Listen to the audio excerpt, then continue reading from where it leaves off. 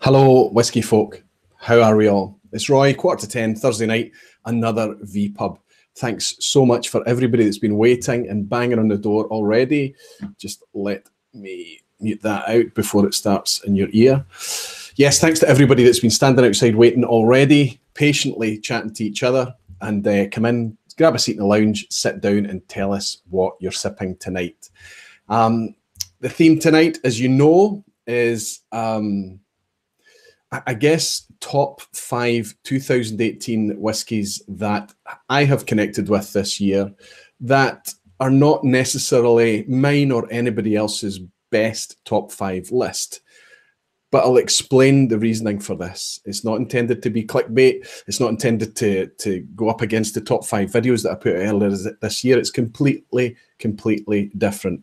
Now, if you're watching this on the replay, welcome. I'm very, very grateful that you do. What I'm going to do with this top five list tonight is timestamp it below. So if you're watching after the event, hopefully I've done my housework after this live has finished and you can skip to each of the individual five whiskies so it functions in some order um, after the live.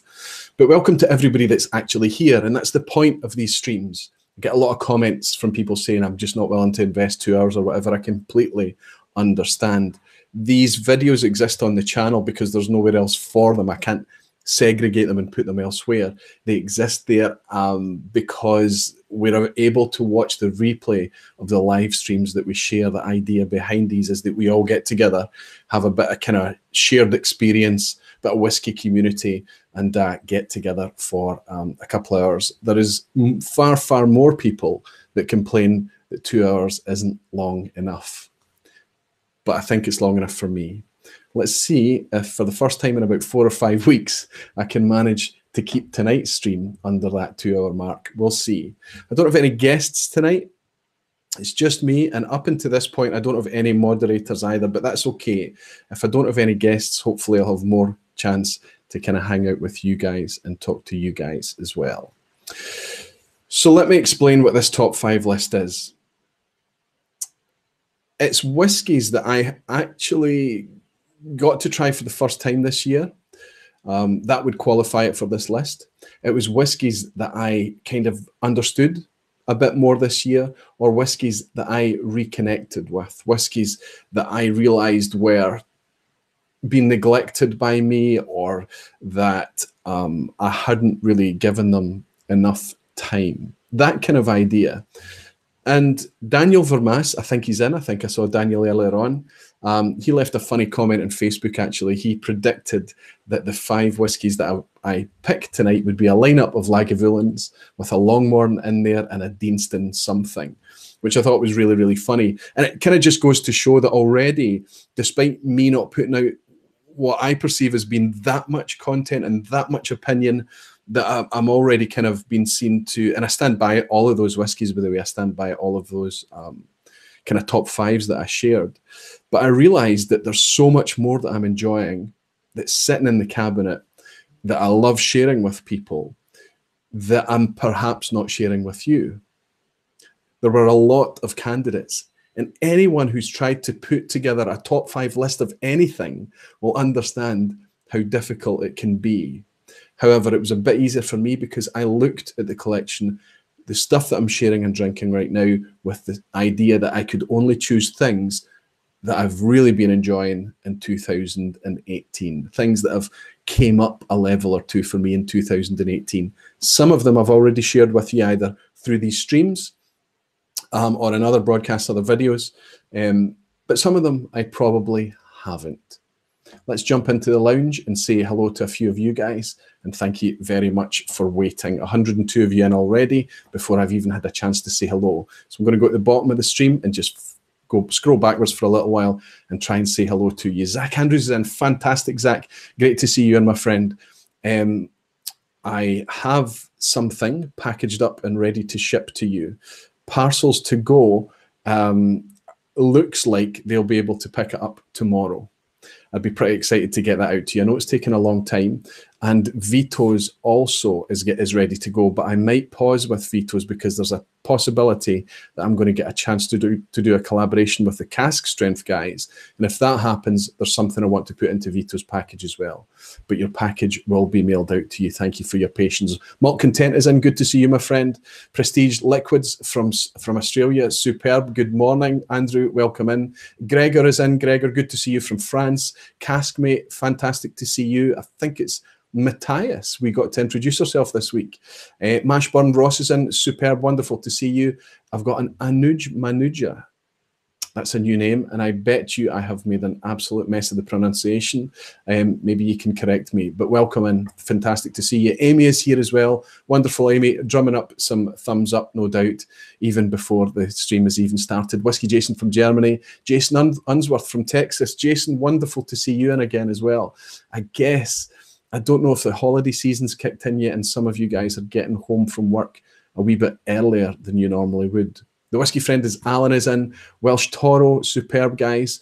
I Laddie is in from Amsterdam, the Netherlands, I guess. Uh, Toby is in. Superb to see you, Toby. Scott from just across town. My friend Scott Kilted Moose is in.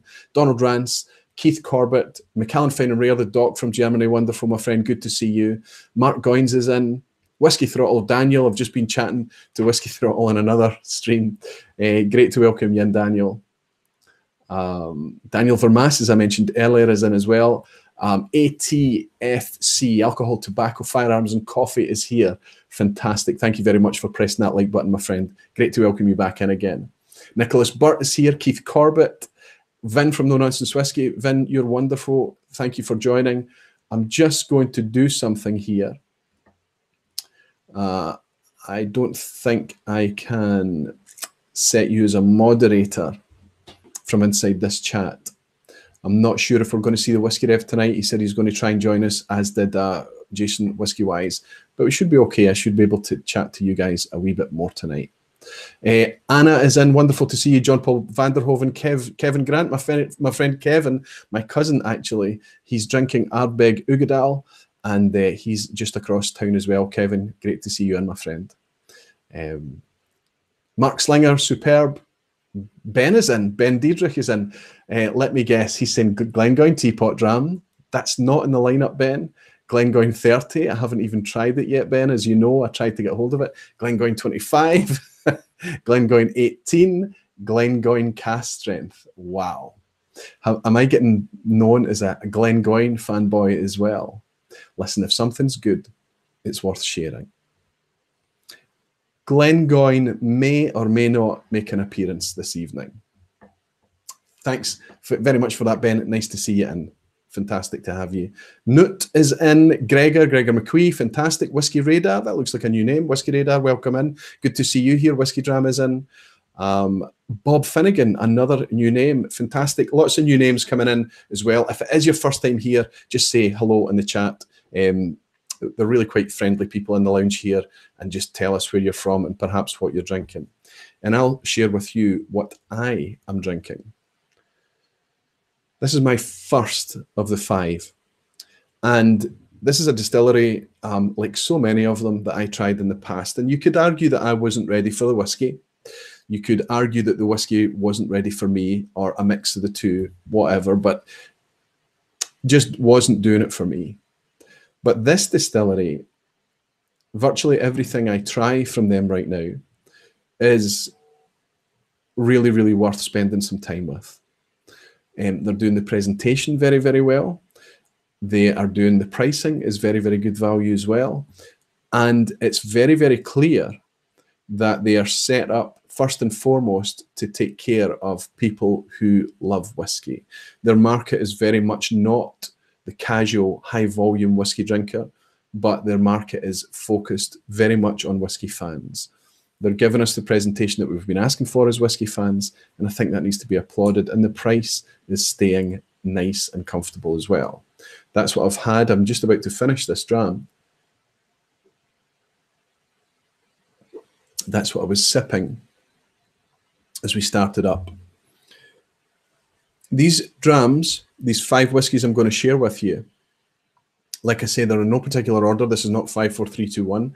The way they're laid out tonight is just based on kind of profile, perhaps, or just the order I was in the mood to to to, to sip them in this evening.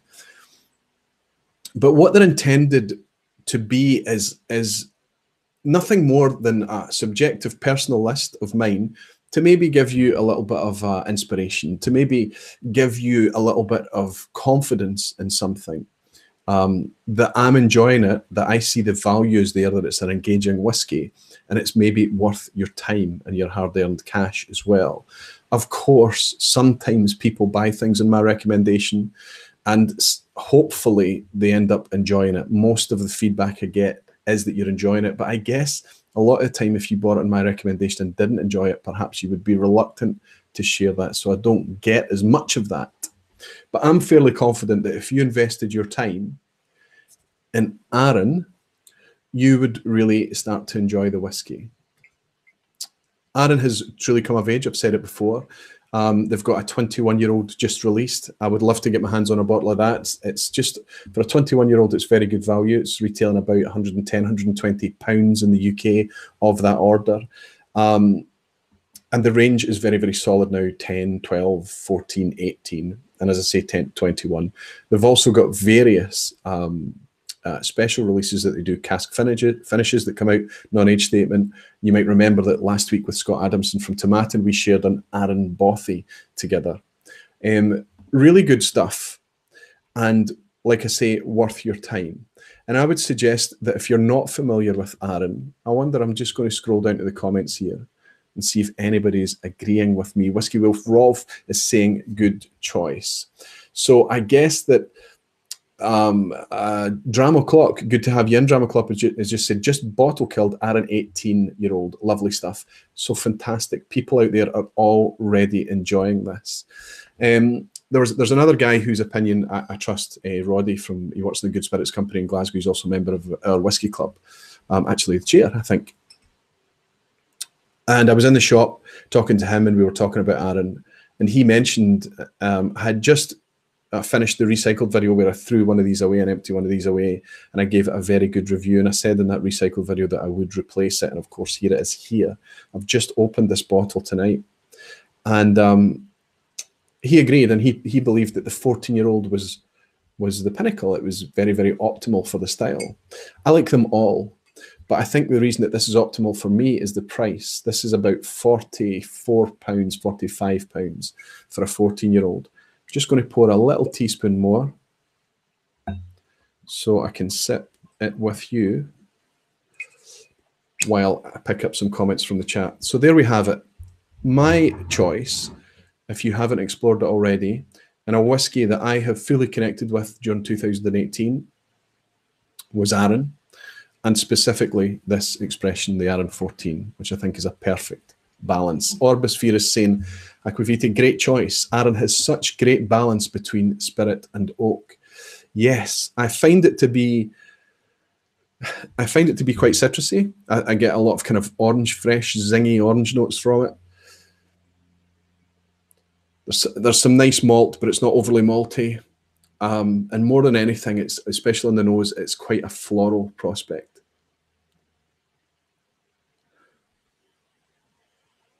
And again, the presentation, 46% ABV, age statement on their core range. Like I said, they do do non-age statement products for different reasons. But here it says non-chill filtered written on the label. And directly underneath it in this 14-year-old expression, it says bottled at natural color.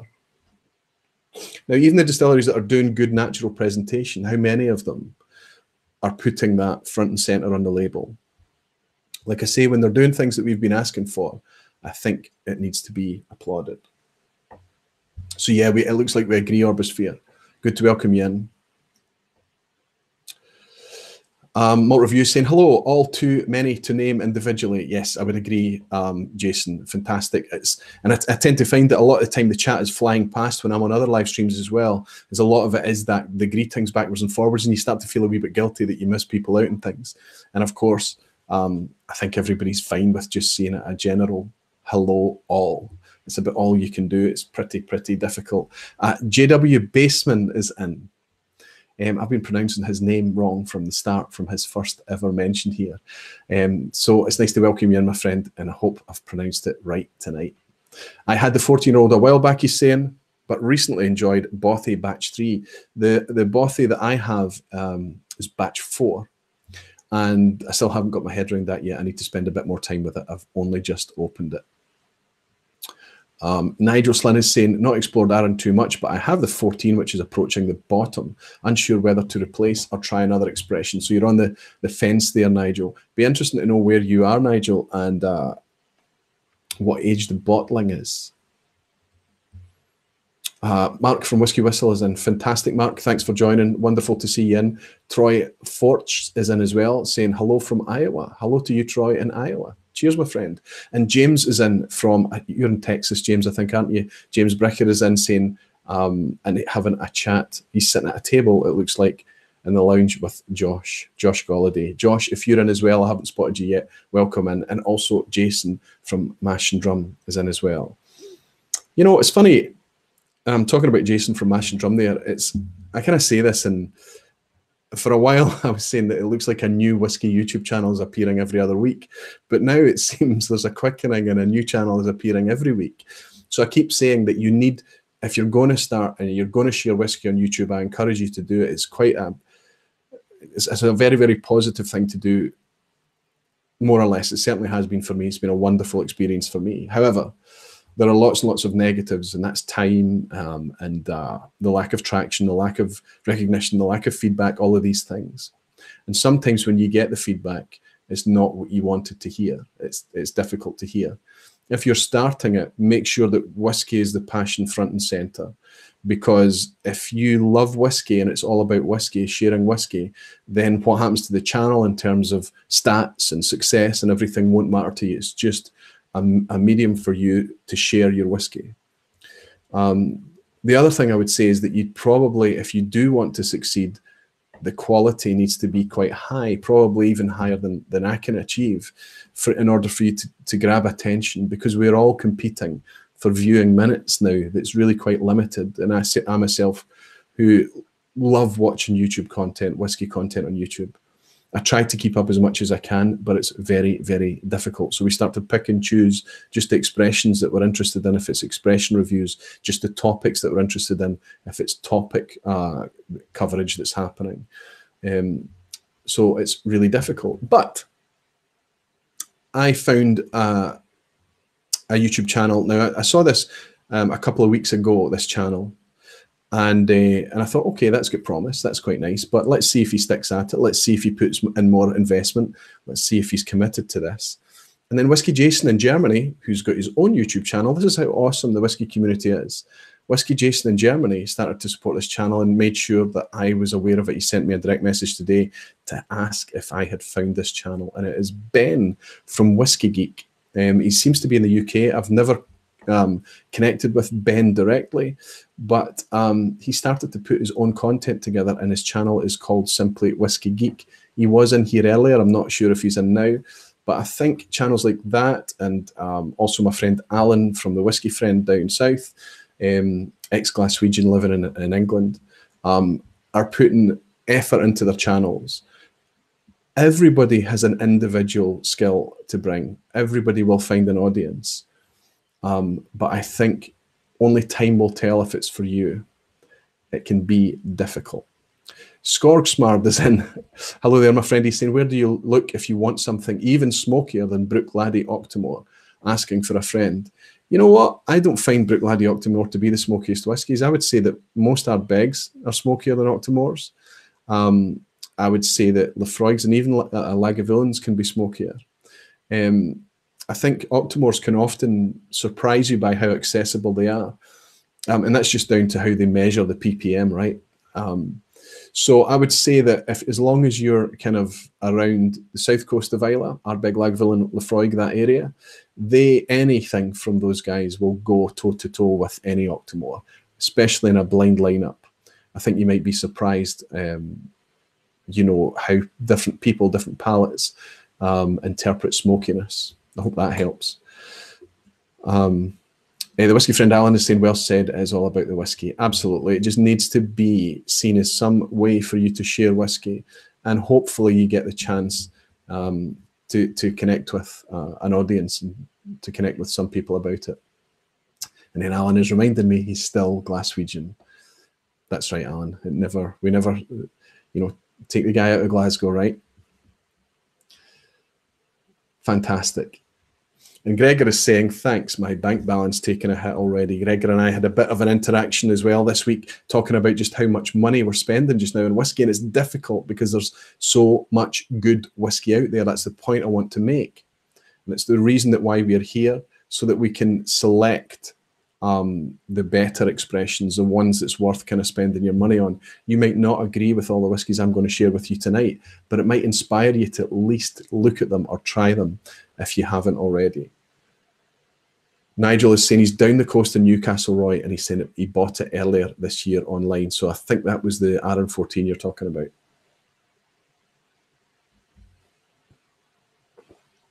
This one tonight is sitting a wee bit tight for me. It's my first dram. And also, it's a neck pour. Most whiskies come good as, as the level goes down most whiskies, in my experiences, I've talked about many times, get much better. Um, talking about this being my first dram tonight, I tried something this week, and it's it's a subject that I've been wrestling with, let's say, a little bit, and that's kind of how much uh, we're drinking, how much I'm drinking myself. I talk about how whiskey changed my relationship with alcohol, and I drink much, much less than I ever ever did because I'm drinking for flavour and taste now I'm drinking for the experience. I'm drinking for the engagement rather than just simply drinking. I think it's a completely different thing. So when I moved away from beers and wines, the volume of what I was drinking dropped significantly. Of course, the cost went up um, because even if we drop the quantity that we're drinking, we're drinking more or less more expensive things. But but it then became a hobby and a passion. So it kind of changed my relationship with alcohol. And because the spirit is strong, it means that it's difficult. The high ABV often that we're drinking means it's difficult to just throw the thing back. You're not just drinking, you probably need to drink something softer or mix it or pour it over lots of ice or soda or something in order to get the, the kind of drink thing going. Um, so, you know, I, I think or I thought that I was drinking in a healthier way but I decided to take an active step uh, recently to monitor and measure what I'm drinking. Because just like what we're spending or what we're eating or whatever it is, we probably are, there's more of it going on than we actually remember or recall. So I downloaded a little app and I installed an app and I'm kind of plugging in what I'm drinking. And that kind of encourages, encourages me to slow down at least. Because if I want to drink these nice, nice whiskies, something has to give. A bit less beer, a bit less glasses of wine, maybe drink on less nights. Malt Content is saying quality, not quantity. Absolutely, I agree fully, um, and that's true of whiskey. It's true of it's true of everything in life. But I wonder how aware we are of what we're actually drinking. I haven't had anything to drink. Now, this is an exception since Friday night. Kevin Grant, who's in the chat tonight, maybe Craig Dollier is in. They were over here last Friday evening and we were sharing some whiskies and things. And that was Friday night last week. It was the last time I had anything to drink beer, wine, whiskey, whatever. Um, until I had a, a, sip, literally one sip of uh, a, a bottle at the Good Spirits Company in Glasgow today. And then I came home and the next, this is my second Arran 14, but they're very, very small pours I'm pouring. And I think what I'm going to do is just be very mindful and plug it in to see what we're drinking, especially over this Christmas period. That's kind of why I wanted to have those dry nights running up to tonight because I'm very aware that Christmas and the holidays, lots of socializing going on, lots of whiskey sharing. Absolutely love it. There's nothing better. But it'd be nice to understand how much of it is being put away. I don't know about you, but when I have a bottle, I always tend to remember these few drams. And I vividly remember these few drams. But what happens to this section in the middle, I have no idea. There are whiskey elves in my house taking care of this for me. Now, I make a joke about that, but something is happening here. And yes, I'm sharing the whiskey, but even if I'm sharing it and sharing it a lot, half of that is me. And you've seen the recycled reviews, the, the videos that I do, right? So I'm getting through the whiskey. So I want to ask you, how much do you think you're getting through? Do you think it's probably a wee bit more than you would estimate? Macallan Finer the doc is saying, and I should mention he is the doc and he is a doctor, but he's not a medical doctor. He's saying no whiskey before 9 a.m. on Mondays. Absolutely.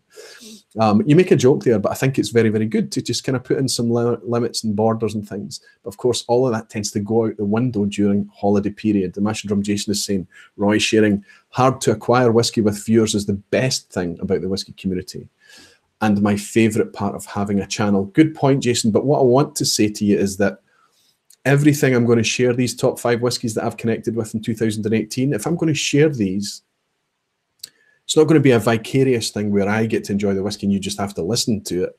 I had to choose whiskies that I connected with this year that you can also buy.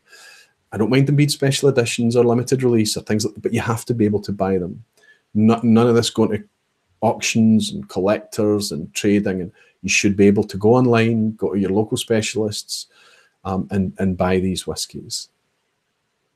It's called vaporization. Radek is saying it's called. Good to see you, Radek. Nice to welcome you in. I'm going to, should I even, uh, Skull Radix Skull. That's my best effort, my friend. Um, he's saying it's called vaporization. Yes, that's an excuse I've used in the past. Angels share. Okay. James Alsop is here as well. Good to see you, James. He's saying I've got a night off work after three night shifts. So obviously drive for those. Enjoying a dram now, though. Fantastic, James. Tell me what you've poured. Multi Haggis Muncher is in as well. Great name, isn't it? Multi Haggis Muncher. Not enough, if you ask me. Too much, if you ask the wife. It's always the thing. So you know the truth is going to be somewhere between the two. Does that mean it's just about perfect? Yes. Certainly uh, it's worth, and it's, it's boring to kind of bang on about it, right? But it's worth pausing and at least knowing where you're at. And even if you're over, I mean, the guidelines in the UK is ridiculous 14 units. And I can't even consider if I go to a whiskey club on a Tuesday night and I, we have five, six, seven drams, eight drams, that's my 14 units pretty much taken care of for the week. So that's unrealistic. But whatever your intake is, it'd be good to be aware of it. That's the starting point. And what would we do? How would we enjoy this if it was dry?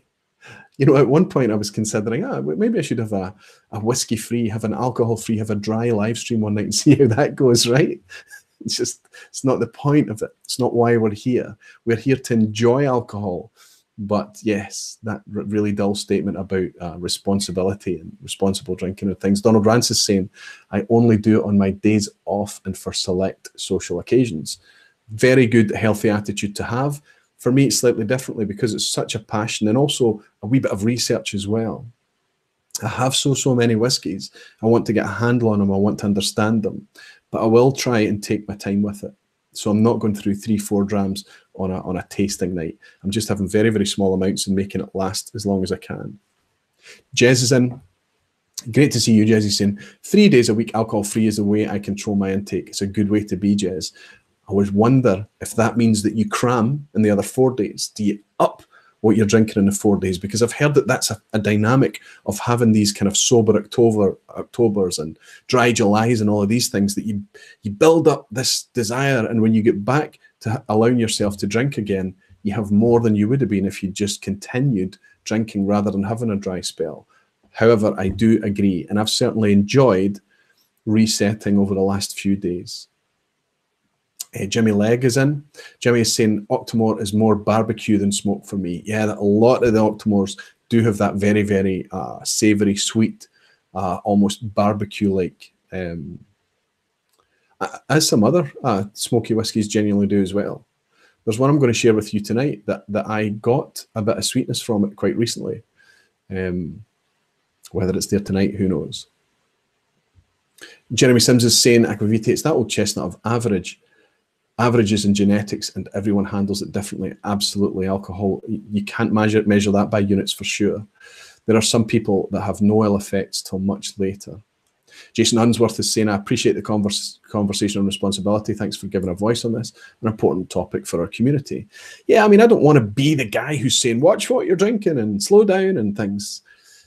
You know, we're all adults, we're responsible adults, and we get to drink what we want. It's one of the wonderful things about free is having this that choice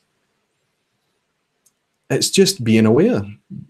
Let's let's know the truth. It's how much are we actually drinking? So maybe I'll share it with you after I've plugged in all everything I drink over Christmas and New Year into that app. I might choose to share it with you, but if it's embarrassing or more than I imagine, maybe I wouldn't share it, and that probably in itself tells a tale. Toby Field, fantastic to see you, Toby. He's saying. Um, on a typical week, I try to keep three days free and 14 units over the other four. Wow, that's some discipline right there, Toby. It really is. It's a good effort. Um, because one measure of whiskey, okay, this, there's not a unit in this. It's probably a bit under a unit. It's maybe about half a unit there, that size. Um, but that's um, it's not much whiskey. And if you have it over an hour or so, I mean, you're not even aware a lot of the time of any effect from the alcohol. Um, so it's all about how it's consumed. It's not just a matter of having days on and days off. It's um, it's how it's consumed. And if you're just having tiny, tiny sips and over a long, long time, surely that's different from sitting down and having three drams in an hour, right? Caskmate is saying, I, I, I pass by my collection more than I open or pour a dram. Having three small kids, same as me, same as me, Matthias. Having three more small kids, it's not every day that I'm in the mood for whiskey, and black coffee It makes a good substitute. I just find water just drink a lot of water these days. McCann Fine Rare saying, sober October and dry July. What about months that don't work in terms of rhymes? That's true. It's true. And I think these things are, are designed just to kind of bring awareness. I'm not saying do them. I've never managed to do them. I've never even tried. Our baggy Andy is saying, fantastic to see you, Andy. He's saying, I tend not to drink in the week, as can be tasting all the time and doing the society nights. It has to be measured. Absolutely. When this is your hobby, drinking alcohol becomes uh, integral. It's just part of it. It's not like you can go out and partake in your hobby and not drink. There, there, there is a non-alcoholic whiskey out there, but I've not seen it for sale, and I'm not in a hurry to. I'd maybe be curious to try it, but I'm not in a hurry to buy a bottle of it. Um, it's very interesting. I watched a BBC documentary with a, a presenter in the UK called uh, Adrian Chiles, I think his name is, and he had he he made this documentary based on his drinking habits and things in the UK. Um, and while I think he drank far, far, far more in a completely different way than I do, it did make me pause and give me a lot of food for thought uh, quite recently. Um, I, just did a search on YouTube for it. Um, I can maybe link that video down below. Uh, link documentary. Trying to be good at housekeeping this weather. Okay, Let's go on to the second whiskey that I'm going to share with you. Um, I need to get through these before the quiz at the end tonight. I'll finish off this Arran.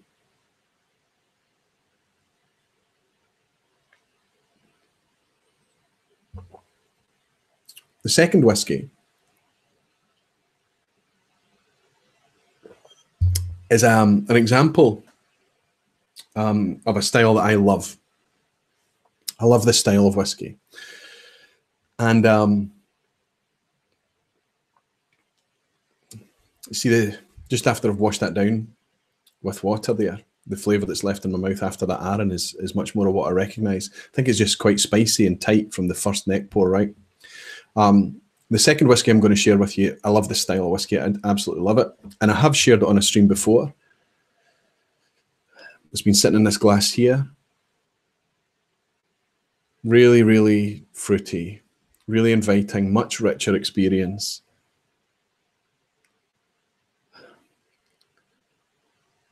Cooked fruits, I would say. This is bourbon cask matured. I'm not suggesting it's like dark uh, cooked fruits. It's not like uh, uh, it's not like dates and figs and that kind of thing. It's kind of just cooked stewed fruit to me. Very malty, lots of lovely, lovely rich cereal notes. and soft. This is 46% ABV, but on the nose it's soft. And this bottle has been open for a long time. I bought this for the St. Patrick's Day live stream. So that's a clue to what's in the glass.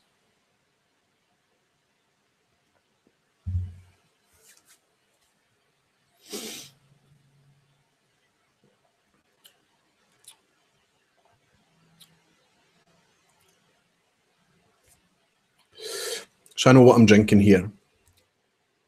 But I recognize those notes and those flavors, and I wonder if I would spot that as being as being of its type. Probably not blind. It's really difficult. Um, but I'll share it with with what I'll share with you what it is. This is Powers, and this is the Johns Lane expression. Um, 12 years old, 46%. Now, this is an Irish whiskey, so it's triple distilled, but this is pot still, single pot still Irish whiskey. So there's a proportion of unmalted as well as malted barley in here. And I love the green spot and yellow spot line. I noticed there's a red spot out now as well. I've not tried that one yet. I love the style. Redbreast is a fantastic whiskey. The 12, the Lustau, the Redbreast cask strength, all wonderful, rich, really nice whiskey experiences. This one is a bit more. The last time I had this, the notes I made on it was. Oh, let's see if I'm getting it tonight. Aha, as soon as I think about it, it's there. It's a kind of a ginger snap. There's a gingery spice to this. Um, maybe like a maybe like a soft ginger, a honeyed ginger, that kind of thing, or those those little biscuits that I keep referring to that um, you get in the coffee shops and things. Are called Lotus in the UK, Biscoff. Um, but that's kind of in this whiskey.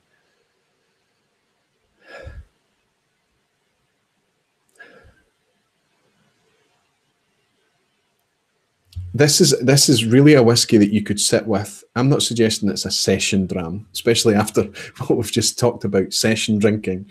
But you could you could have a dram of this and still not have fully explored it. You would want to go back and have a wee bit more, a wee bit more, a wee bit more. It's not got the the waxy oiliness and the weight. I would say that it's not got the full body of the green spots that I'm familiar with. It's slightly more. Um, it's still there. It's still a nice textured whiskey, um, but it's slightly more um, about the the honey and the spice on this, I would say.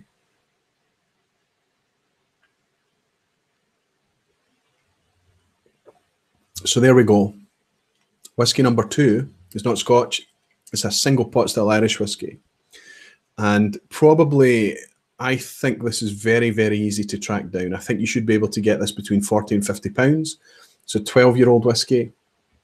Um, I don't know how much of it they sell. I think it's usually very, very available. Anytime I've wanted uh, to find it, I can find it. It's not expensive, and I think it's a wonderful example of its style.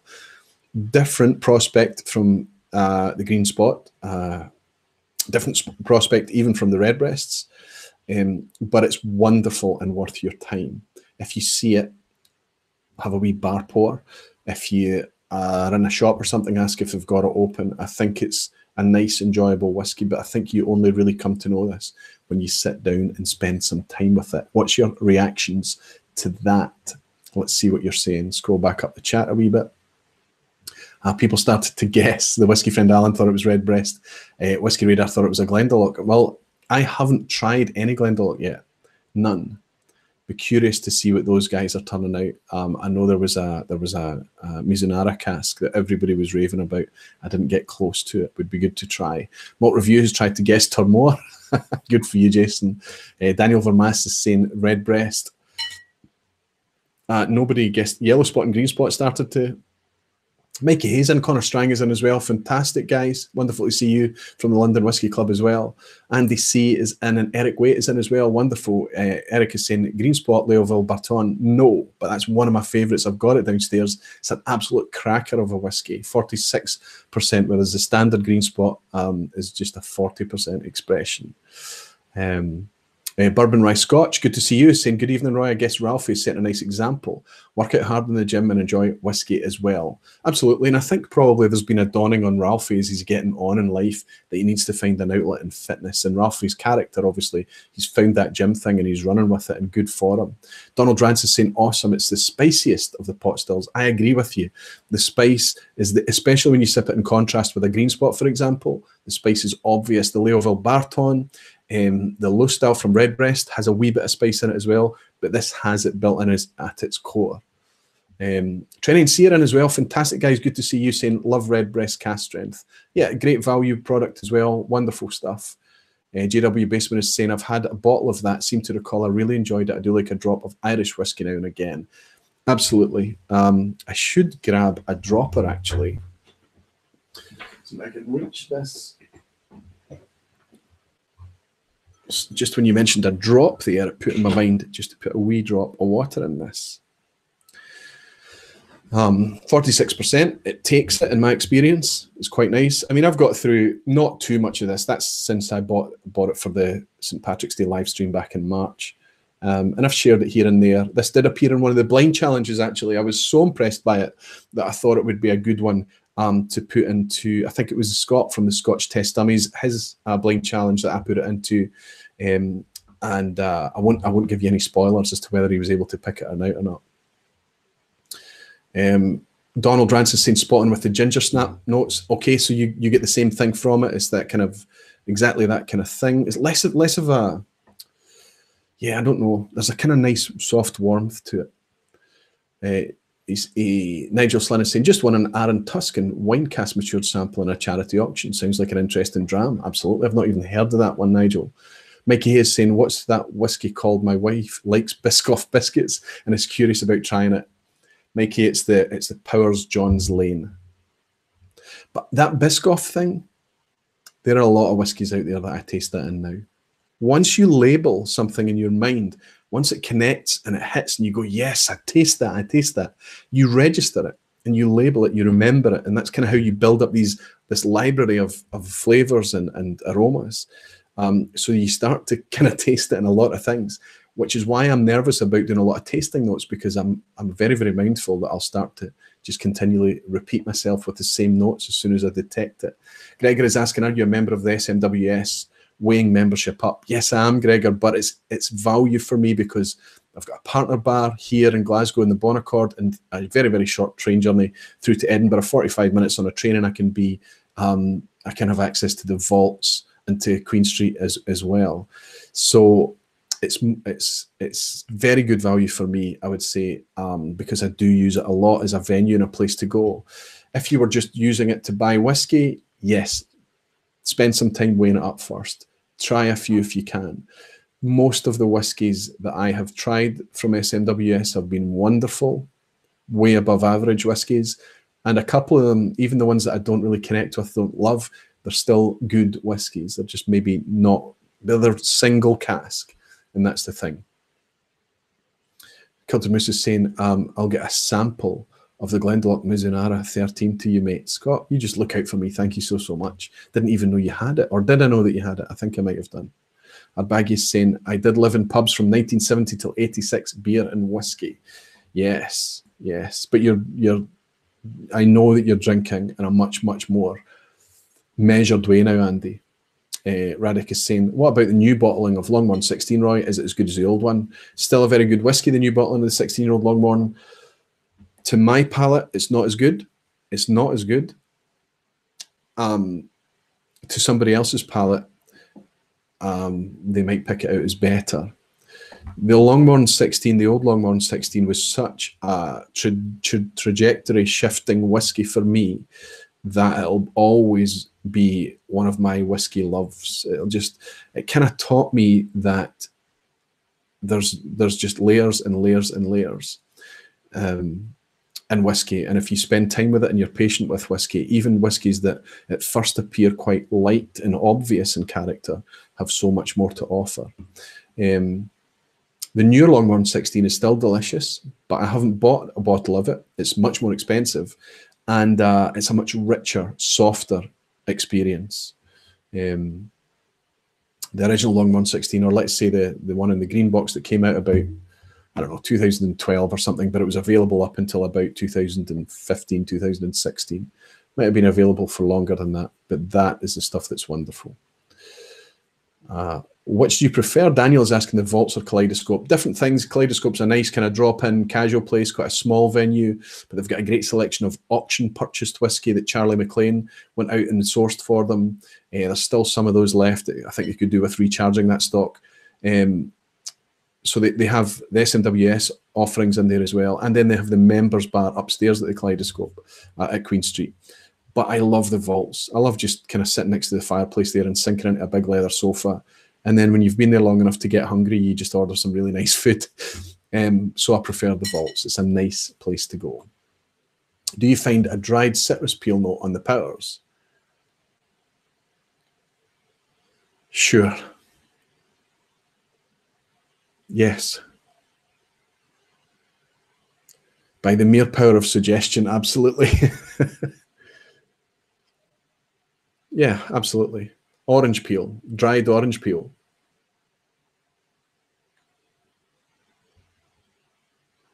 Mm. Absolutely. Who said that? Donald is saying that. Absolutely. It even fits in with that that whiff of bitterness on the finish as well. That kind of that kind of fresh, bitter finish. Good spot, Donald. Thank you very much. Daniel is saying the new Longmorn 16 is magical with a drop of Ardbeg 10. Good for you, Daniel. So you're just putting in a wee drop of Ardbeg 10 into the Longmorn. Nice idea. It looks like Tom R is in as well. Welsh Taurus saying hello to Tom R. Tom, I haven't spotted you yet. Um, good to see you and Um, nice to have you here again. Sven is in. Sven Murer. Hello to Frankfurt. Sven, good to see you. Nice to welcome you in here. It's the first time I've seen you. Magnus B, that looks like another new name, as well as Emery McGill. Emery, I've seen you before. Nice to welcome you back again.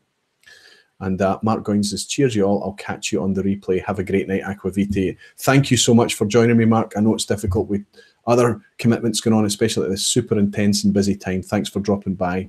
And uh, I hope you have a great night yourself. Thank you very, very much. I want to ask everybody did you pick up the blind challenge I did? Um, I wonder what your thoughts were. I filmed that with the view that I could watch it back myself and decide whether I would release it or not. So that was a different dynamic than the other blind challenges that I send out to the other channels. They're fully aware that what they're filming is going to get cut and shared. Whereas I was in the very privileged position of knowing that I just didn't need to tell anyone that I'd done it. Um, but of course, after it, despite my lack of humility at the end, when I did get something right, I don't want to spoil it for you what I got right. I was kind of doing, uh, you know, but I was just so relieved. I was just so glad that I was able to get anything. Um, and they, I have to say, the adrenaline ride of that blind challenge was unexpected for me. Okay, it helped that Era had put in some fantastic stellar whiskies for me to try. Um, but I put that out on Saturday night and I did a live, not a live stream, I did a premiere. So the videos goes live at a certain time and we're all in, here chatting together. I'm in the chat with you and we can have some real time interaction and reaction. It was a really good feature. I could see it having appropriate um, reasons to be used. And I think that was a, a pretty good use of it. I enjoyed hanging out with you guys and watching that on Saturday night. Um, so wondering what you thought of it. Uh, I'm very, very keen to continue that blind challenge going for as long as people are willing to nominate other people and the, the nominees are willing to accept, of course. Drew is, of course, up next. R Russ Woodman is saying, Cheers, Aqvavitae, first time catching a live stream. Welcome in, Russ. Really good to have you here. Thanks for um, saying hello and tell me, where are you? Cast Strength is in saying the challenge video and format was amazing. Good. Um, so I tried to use a similar format as the other Aqvavitae challenges, but of course you can see that just by the very nature of how that came about, that it had to be a slightly a wee bit different. Um, Christina is in fantastic. Christina caught the blind taste and fantastic fun you did. It was really nice to welcome you in there as well, and it's great to have you here joining us again. Are you home, Christina, or are you driving and listening? You must be home because you're typing, right? And Thomas saying, "Hi Roy, I was listening to in my drive home on your study nights, have you ever thought about using a spit bucket? Small spit samples, not so much wasted, but less for your body to process. The straight answer to that is no. I've used a spittoon at festivals, but not to spit, to kind of to to pour. Um, not that I'm not enjoying the drams or whatever. It's just that, yeah, ones that I know that I'm at a festival, and there's lots I want to taste and try, and I don't want to drink too much. It, I just tip it into the spittoon, but I don't spit at home. I pour what I think I'm going to drink, and then I drink it. The only time whiskey's wasted at home is if something happens and I forget it. Usually, uh, what I pour gets finished, Tom. It's a straight answer. Amy is saying it was great. Thank you very much, Amy. I'm glad that you joined in as well. Um, Jason Coates is saying you were raucous in victory, but are humble in defeat. Is the alternative, which is fine. Yes, but I think when you get something right, when you guess something, um, and it, you've got to remember that this is this is not blind.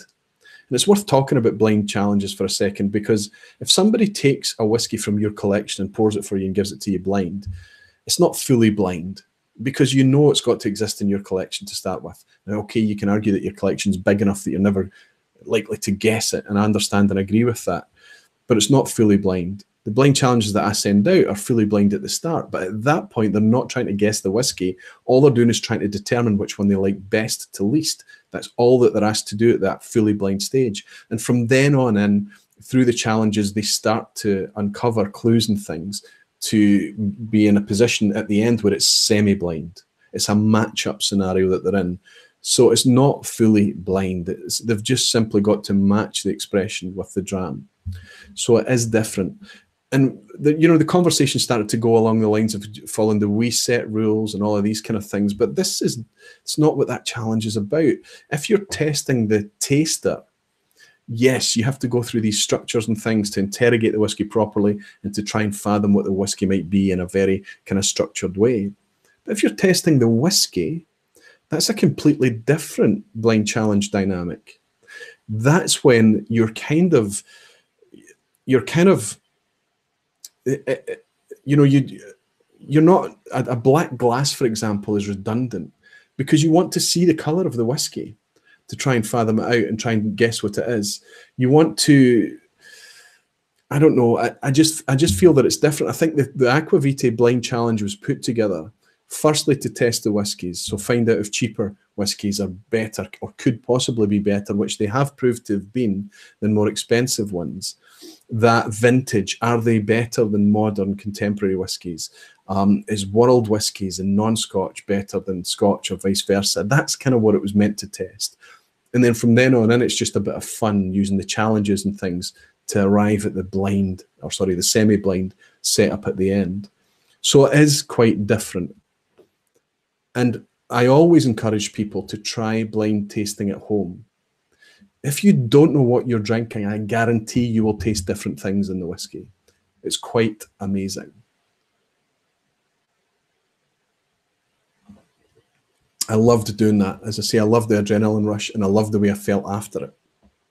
The whiskies were wonderful. Thanks again to Era. Toby is saying, Love the blind challenge. You weren't as bad on camera as you thought. I, I actually agree. I, after I'd edited it down and things, um, I was I was okay with my idiocy, um, and the sound wasn't bad either.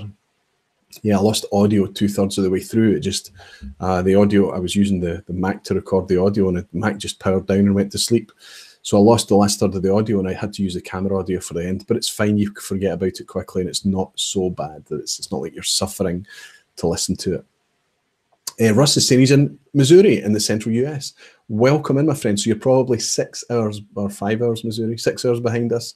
I'm not sure. Whiskey Throttle is saying I have been trying to find the time, but I'm looking forward to watch the replay. But hope to talk with you about some Canadian samples. Okay, very intriguing. I know you've you've threatened in the past. It was a lot of fun. Do it again. Casway is saying. Um, JW Basement is saying blind tasting is fantastic. Highly recommend it. We do blind tastings on Twitter, and it's always really interesting evening. Absolutely is. Do you find yourself getting caught out sometimes, John? I mean, it, I think that that even whiskies that you've been passionate about and saying I love that, depending on the evening that you're sipping it, depending on what you're drinking it in contrast with, you can be caught out. Gregor is saying, you know how I feel about your blind challenge? It's got such long legs and is providing magical binding moment between myself and faraway friends this Christmas Eve. You're setting up your own blind challenge, and I think you're using some of the similar formatting to the, the blind challenge that I do, Gregor. I'd be really curious to see how that works out. And Christina is saying, indeed, she is home and enjoying a longed for pour of Ardbeg 10. I would have probably guessed it'd have been Ardbeg 10. It's funny how we become fanboys. And that's another reason the blind tasting is good because I think there's a comfort in being a fanboy, or in Christina's case, a fangirl or a fan guy or whatever you would want to call yourself. But there's a comfort in a brand that you get to know the brand, you get to enjoy it, you get to like it, and you're drawn to go back there, you're drawn to go back there, you're drawn to go back and just stop sometimes. That's very much a designed thing. And you're I'm not going to suggest that you're weak, but potentially you are cutting out fabulous whiskey experiences by tying your loyalties to a particular brand. Yes, it's fun. I understand that. Yes, we do it throughout life. We do it with gadgets and we do it with cars and we do it with sports teams and all of this thing. And, and it's nice to have a bit of rivalry and things like that. In whiskey, I don't think it's a good thing. Blind challenges especially when you have whiskies that you love are in there. Be prepared for whiskey taking your trousers down. It will, and it will challenge your loyalties to some brands often as well. And I hope that you have the ability to be humble when it happens, because it happens to me far too often. Emery McGill is saying most disappointing whiskey of me 2017 was Ardbeg Grooves. While it was very Ardbeggy up front, I was expecting the finish to be better. I didn't love it either, Emery. Um, I didn't buy an Ardbeg Grooves. Um, I tried it. I was over there for Ardbeg Day at the Fèis Ìle Festival this year. There was lots of it on free pour. You could have as much as it you as you wanted. Um, it was not a bad whiskey. Um, I didn't love it. Tony Evans saying it was great. All the blinds are brilliant, fantastic. Oof, let's catch up with things here. Okay, let's go on to my third dram. How's the timing? Wow, an hour in. My goodness, these three are going to need to be quite rapid fire. My third one is here, and I don't think many people would, would have much truck with this choice. It's just, it's almost an obvious choice, but it's perhaps so obvious that I don't often talk about it too much. It's a scotch and um, yes, it's generally and widely available. Sometimes it can disappear and be difficult um, to, to get a hold of, especially if you're in the UK or Scotland, let's say. Um, even their standard entry level product went out of stock at the end of last year, start of this year. Um, but I knew this whiskey. I mean, I haven't been a long term fan of this whiskey. I found it a wee bit difficult let's say when I first got into whiskey, because there are some unique flavors in there generally. But and I got into it, and uh, exactly a year ago, it was it was Christmas time. My neighbour across the road, Pat, he was in this evening just before I went live. He dropped in to say hello, and he left me some tasty homemade shortbread. Thank you very much, Pat. I was over at Pat's house and uh, he just poured a whiskey for me and gave it to me. It was his Christmas bottle, a bottle that he'd been gifted for Christmas, and it was this. And I smelled it. Oh, it smells nice. I'm really interested. And I left it in the glass for a while. Then I sipped it. And I was like, wow, what is this? What is this? And then as, as I went through, I kind of guessed what it was. There's a very, very unique flavor to it that kind of tells you what it is. Um, but uh, his wife, uh, who bought it for him, told me what it was, what it was, and confirmed my suspicions. But I was going to guess it was its 15 year old equivalent. This is 10 years old. So I've given you lots of clues to what this whiskey is.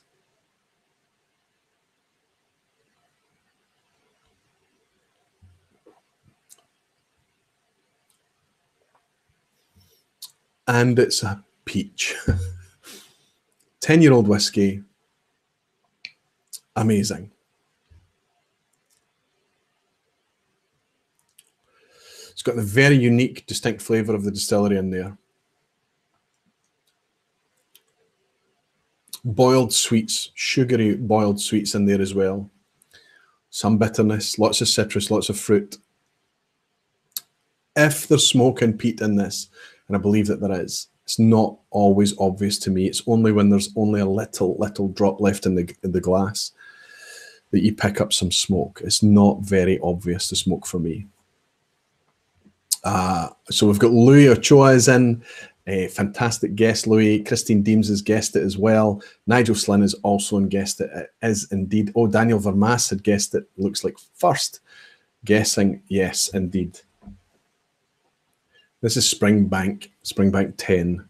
I have all the Springbanks. I've got the 10, I've got the 12 cask strength, um, two batches of the 12 cask strength. I've got the 14 year old Bourbonwood, that's not opened yet though. Um, I've got a couple of local barleys. I've got the 15, I've got the 18. All of the Springbank expressions, even if you don't enjoy them, if you don't like it, because there is a unique flavor element in there, you can't deny that the quality of the spirit, the engagement is really, really top class. It's front and center full of character, full of quality, and it's very, very rare that you'll pick up a Springbank and not like it. It happened to me this year. One of my least or biggest letdowns this year was from Springbank. But I know that a lot of people that love Springbank loved the whiskey that I didn't like, and it was a that was the sherry cask Longrow, the 14 year old this year. Just far too sulfury. It was li- literally licking a box of matches. Um, but lots of people that like that flavor, that characteristic, that really, really heavy, funky, musty flavor, loved that whiskey. It was very, very dirty Springbank. Um, eh, it wasn't. It wasn't my favorite. Um, the Longrow Red I'm talking about, by the way. Um, Jumping Whale, fantastic to see you saying, I will try Springbank again. So is that perhaps something that you tried in the past and didn't like very much? Magnus B is saying, Hi Magnus, he's saying, I haven't had a Springbank 10 yet, only 15. Is it really not peaty? Well, it depends because some people are much more sensitive to peat and smoke. I drink so much peaty whiskey now that I really need to probably take a break from it for a while, but I'm going to wait till next year before I do that, um, in order to kind of recalibrate things and make me more sensitized to peat again, because I really don't detect it in this at all. But maybe a, a, a wisp of it, I would have to literally nose it along alongside something that I know.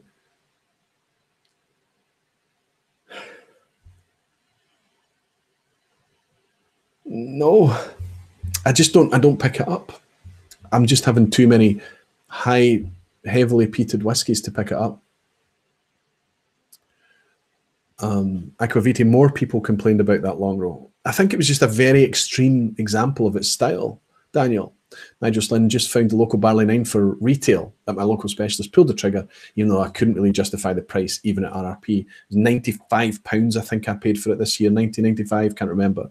Um, thanks to Scott Monroe, he managed to track one down for myself and the Alchemist. Um, and Yes, but you have to understand that that's that's a very very intensive process to deliver that product. That that control of of making that spe- those specific batches of that very specific barley in every stage of the process has got to be traced and tracked. Uh, the everything about it in order for them to, to bring, which is which is a very very small batch expression. The original one was 16, I think. Then it was 11. Then, sorry, I'm not seeing the original. Three years ago it was 16. Then it was 11. Last year was 10. Um, and this year is a nine year old. So it's getting a wee bit younger as well. But last year's the 10 year old. Um, the 16 was fantastic. Really, really fantastic. I never owned it. Um, but the 10 year old, I managed to get a, a, the opportunity to buy a 10 year old. And it's like spiced butter it's a wonderful whiskey. The texture is there, the flavor is there.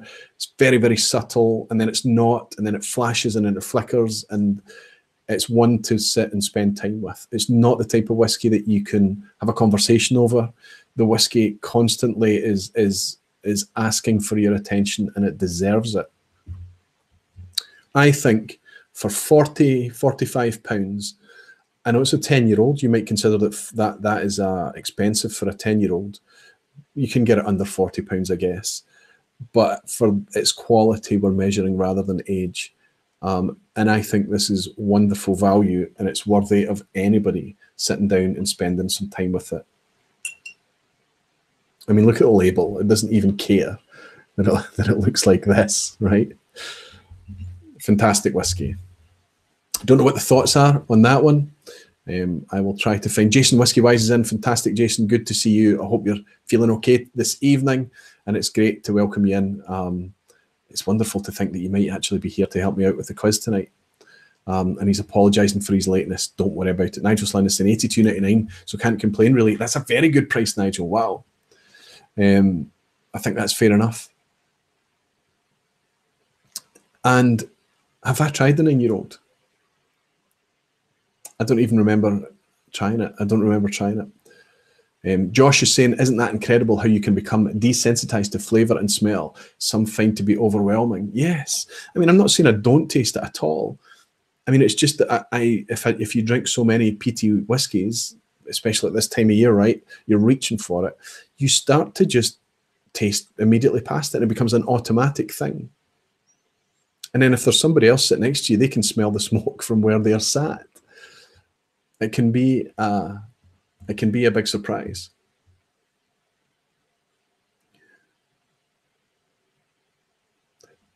Like I say tonight, I'm sure that I could pick this up in a blind and say, "Yep, Springbank." But that's not how blind tasting works.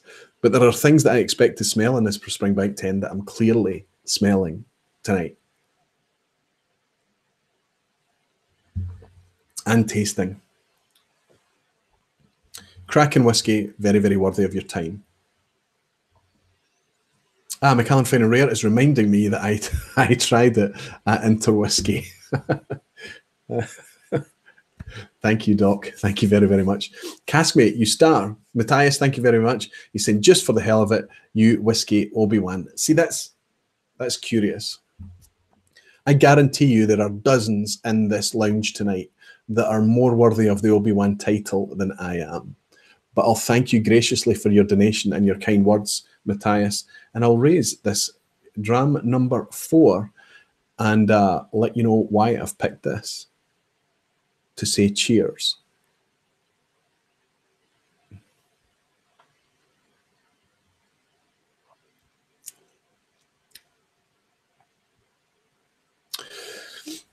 So I've just gone from a 46% ABV Springbank, lots going on, lots of obvious flavors, into this, which is the exact same ABV, but tastes much softer. Joe Prester's Joe, sorry, Joe Prestera is in. He's saying Aqvavitae, if I only have one peated whiskey in a night, I can't have another one. If I have one peated whiskey in a night, I can't have another one. I understand, Joe. Um, nice to see you in, by the way. I think that's a new name. Welcome in. I think that uh, for some people, it's a it's a divisive thing. Some people enjoy it and say, "Nah, I've had enough." Like you, Joe, I think. But other people get their hooks into peat. They find it difficult to leave alone. And I can, I kind of switch backwards and forwards. I can be like that. I, I have suffered from that in the in the past at the hands of Lagavulin. I just got into peated whiskey so much that I found everything else boring for a long time. And I think that was a a mistake. And it's nice to step back now and again and kind of recalibrate your perspective again. Uh, Tom Harris saying, Are you aware of any independent bottles of Springbank? Very, very rare, Tom. It, they do exist. There was a time that Springbank had to trade casks just like anyone else, but it's very, very rare nowadays. Springbank can sell everything that they're making and a hell of a lot more. So it's very rare for any of the stock to turn up um, on the through brokerage or for independent bottling. Some private casks. Uh, Toby Field is saying, uh, I could see Roy in Obi Wan's robe. Mm.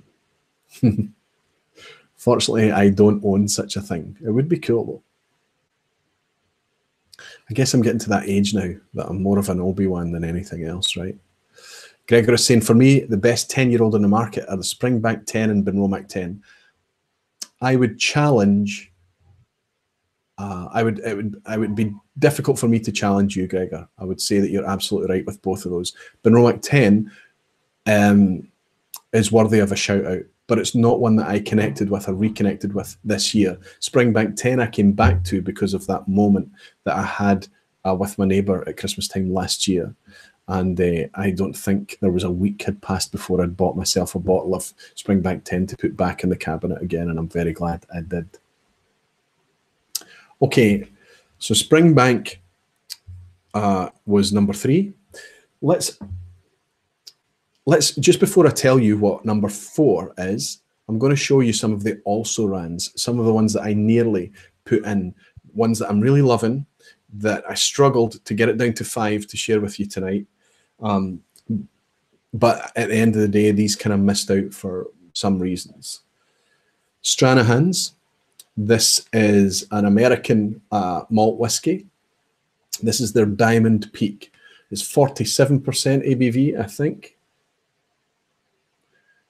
Yep, 47. And this is really, it is an American whiskey still. It's very, very sweet and toffee, rich caramel and things. There's a nice dose of spice in this as well. And I find this a wonderful whiskey that you can sit with and really enjoy. Um, really cool little kind of jigger pouring cap as well. Very, very tough to open this the first time we opened it. This was gifted to me by my friend Bill, Whiskey Disciple, Bill in California. He was in the Islay video and he brought this across for me. I think it's tough to get your hands on in the UK, but this has been a wonderful American whiskey for me. And I'm gradually understanding more about American whiskey the more that I try. I'm tasting past that kind of rich, sickly sweetness that you can discover with American whiskies and bourbons and things if you come from the Scotch angle. Um, and this is helping me to do that. This is a great whiskey, and I thought about including this tonight. Another one, fantastic distillery, doing great things generally as a producer. They're doing great things at Glen Scotia. They're doing great things at, at Loch Lomond as well. This is very, very good value early 30s, 35 pounds, 12 year old. Uh, wonderfully well presented as well. It tells you that it's non-chill filtered on a bottle. It has the age statement. They present it at 46% ABV as well. And if you're looking for character in whiskey, this brings it by the bag. Sometimes if this was poured for you blind, I think you'd be staring at it wondering what it is. It's got lots of that rich, earthy sourness that we love to taste in the Springbanks and the Benromachs and maybe Bowmores of old and things. This has got bags and bags of character. And if you find yourself disconnected from Loch Lomond, I bet it's because you've had one of these really cheap price point type Loch Lomonds that this distillery used to be famous for. It's not that kind of distillery anymore. Yes, there are still cheap, difficult to like Loch Lomond still occupying shelf space out there. That's not the Loch Lomond I'm talking about. This is the Loch Lomond 12 and I know that there are older expressions out there that everybody is raving about as well. These guys are proving that they can make fantastic whiskey. But it didn't make it into the list. It was nearly in there. And this one, I can't believe that there isn't going to be a Glengoyne in the list. There isn't a Glengoyne here tonight. It had to make room for something else. Glengoyne has been a staple for me. It's been one that's kind of constantly there. And while I can argue that I reconnected with the 21 again this year, it isn't really a 2018 whiskey for me, but almost. Glengoyne's just always been there and in the background. This 21 year old was on offer, and I managed to get this for significantly less than 100 pounds. But even if you pay retail for this, you're looking at 110, 120 tops, that kind of thing. It's a 21 year old whiskey almost every drop in this bottle is ex Oloroso as well, exclusively Oloroso. Um, bit of a sherry bomb. They are putting a wee bit of ex bourbon in this now, but it's minuscule. It's a tiny amount. Um, this is very much still a sherry bomb. 43%. If you want to know why it's presented at 43%, maybe you want to refer back to the, the live stream I did last week with Scott Adamson from Tomatin. Um, there's a reason for it. There's a reason that it's styled that way. Um, this is wonderful whiskey, high quality stuff. Everything Glengoyne do is classy. It's a very elegant, a very clean product when they do a sherry style, and a very elegant, engaging malty product um, when they do it uh, more kind of bourbon uh, matured style, like in the like for example the 12 year old uh, and the 15.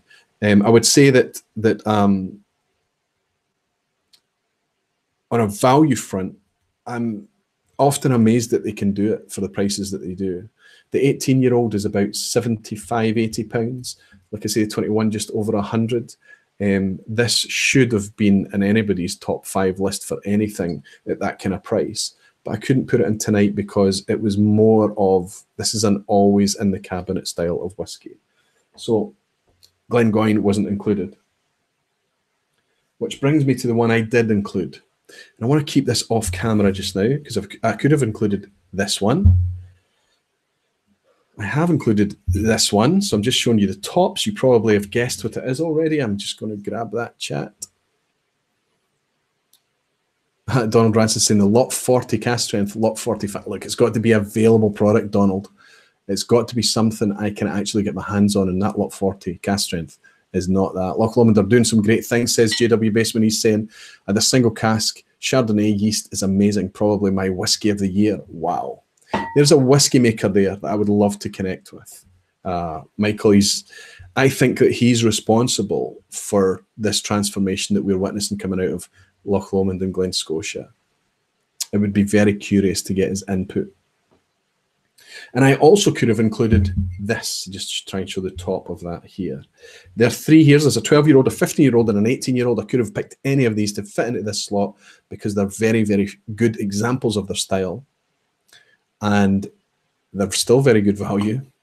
And they are delicious whiskies to pour for yourself, to pour for visitors. And if you poured it for visitors, they would feel looked after. Glendronach. This is a 12.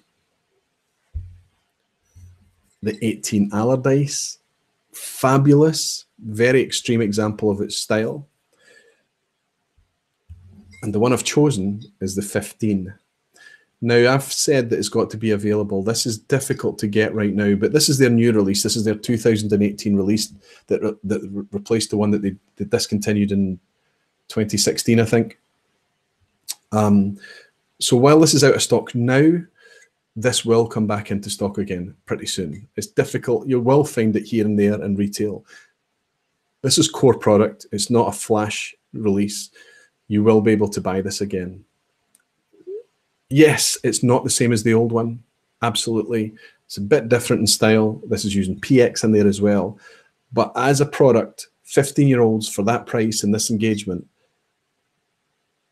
it's damn good. Now, it wasn't long ago I opened this on a stream, and I've got through a fair amount of this, and I've shared a little bit of it, but not too much. It's me that's drinking this and enjoying it.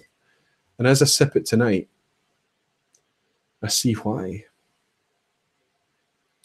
Sometimes sherry style of whiskey is what, like a bit like peated, like we've been talking about. You can fall away from it. This would get me back into sherry. I think it's very well done. And I have to say, I had my cynical head on before they released this, and I didn't think they were going to be able to achieve something as nice as this as a release. So my number four is Glendronach 15 Revival. But honestly, if you can't get it, the 12 year old, admittedly 43%, but there's a reason for that. I'll refer you back to the video with Scott from Tomatin last week. Um, is 43%, but still wonderful whiskey, still very much sherry, sherry in its style. 12 year old version. The 18 year old Allardyce is wonderfully deep and rich and soft. Um, 46% ABV, and it's still about 80 or 90 pounds, that kind of price for an 18 year old sherry bomb. Connor is saying he was underwhelmed by the new 15. The 18 is the one to go for. I think uh, the old 15 was much closer to the the 18. The new 15 is a slightly slight departure for that for obvious obvious reasons, but I think it's still a wonderful wonderful uh, whiskey. Simon Ray is saying, thanks for the great cover coverage. Enjoy an Xmas dram. Thank you very, very much, Simon. Thank you for your virtual dram. And I'll raise a wee glass of Glendronach 15 Revival to you, Simon. I wonder how you've been feeling about these weekly V pubs. And I wonder how you're feeling about the guests, because I've lined up kind of three collaborations in a row. Um, it takes effort to do these things and trying to work out the timings and uh, to work out the tech and things in advance. Not too much. It's not a big deal. but for me, it's a lot easier just to kind of turn up on my own. There's a bit more pressure on me to have content, but as you can tell, I seem to be able to find way things to talk about. Um, but it's been interesting to get your feedback whether um, you would like to continue a mix of guests and solo nights. Um, obviously, when it's a solo night, I'm able to interact with you guys a lot more as well, or whether you would uh, prefer me to go in a particular direction. I think the weekly live streams is something that I would probably be reluctant to continue for next year. I think I was happy with the balance of the uh, twice a month live streams, and I think I will be switching back to that next year. Just feels a bit more right in terms of timing, um, in terms of uh, commitment from me, in terms of uh, building up an appetite in between streams that people actually feeling like they want to join. Um, I think it's right because we're all like our time is limited and we're all competing for viewing minutes. I would like to have you here all the time, of course. I would like to sit with you here every week, but I think it's nice to find balance in things. Emery is saying, What is everyone's thought on the Glen Scotia 15? I loved it. I tell you what, though, sip it with something sweet or soft and tell me if you don't get smoked meat, specifically smoked salmon from that. When I was at a club night, we picked out Scott from the club night. He picked out smoked salmon and everybody got it. And then I was somewhere else completely unrelated, and I wish I could remember. And somebody else picked out smoked salmon as a tasting note as well on Glen Scotia 15. Fantastic dram, one of Ralfy's favourites as well.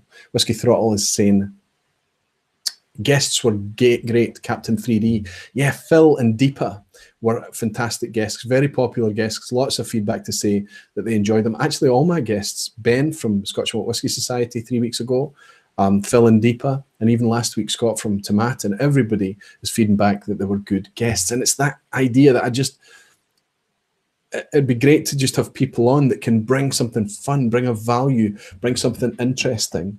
Um, because if I wanted a collaboration with people who had something to sell, uh, a blog or a channel to promote, or uh, you know, it would be easy. I, I, would literally be able to put out multiple streams a week, but it has to be has to fit with a theme.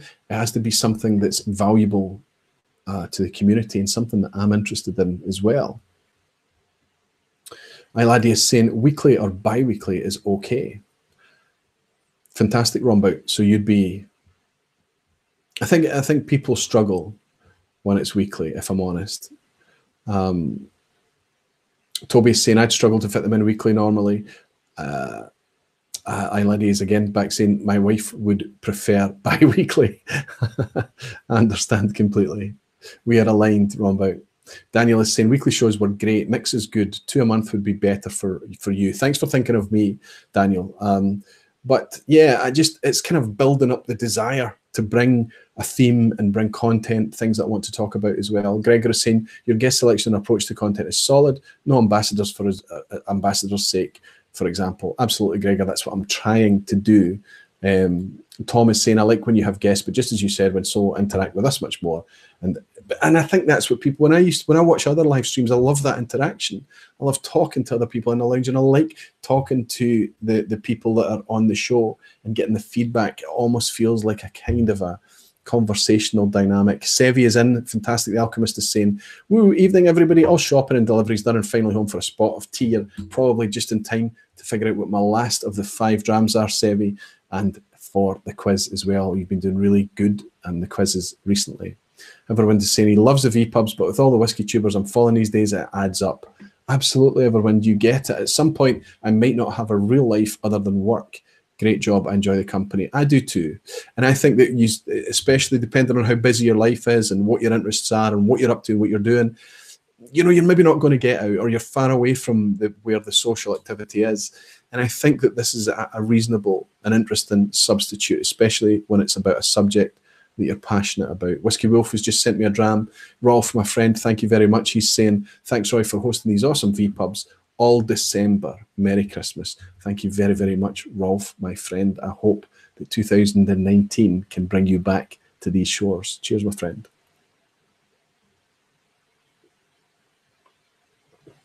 That was the idea of the, the December streams. So Glendronach is how can anybody I appreciate that it's not what the old one was, but it was never ever going to be. It's very, very good. This is going to end up in a blind, somebody's blind lineup soon. Uh, Captain 3D is actually in. Phil is in. Fantastic to see you. He's just released a, an Ardbeg revisit to his original video, and he's done one on Glenfarclas as well. And if you're ever, ever curious about blind tasting, watch the Glenfarclas one and see how crazy it is. And then if you judge them on it, how confused they got, do it yourself. It's crazy. Absolutely crazy. Well, content is saying I can only get to them on summer holidays. Of course, you're in Australia. Of course, my friend, Christmas time. So maybe ramp up the schedule every every Christmas, Roy. it works for you. Well, that's the thing. If I take a summer holiday off, you know, July and August, I think through July, August, September, I did about three or four streams, maybe over three months. So I really kind of cut back to, and I always said that I would have that break in the summer. So if I'm doing that, I kind of feel like I need to pay back in the wintertime. I don't feel like I need to pay back. That's not fair, but I think it makes sense. And I think it, uh, certainly this time I was up for doing it. There's one more to go next week on the 27th, two days after Christmas. I, I only charge patrons for product that I actually do. I don't do per month. It's per per per video, per creation that goes out. So when I take a break in the summer as well, they don't pay for me disappearing. I have no guilt about going off and taking a summer holiday. Um, Donald is saying, whenever you have the time, it's our top drams that you want to try in 2019. There is a lot, but I have to be honest, Donald. The amount of money I've been spending recently there would be shame in me finding new drams to go out and find. Have I missed? I have. I've missed a dram in. Somebody has bought me a dram and I've missed it or I've just not got to it yet. Somebody has given me £10 it's Kieran. Of course, I could have guessed it was you, Kieran. He's saying, Merry Christmas, mate. Don't need to say anything more. Kieran, you star. You're always super generous and support me. Thank you very, very much, my friend. Thank you for your dram.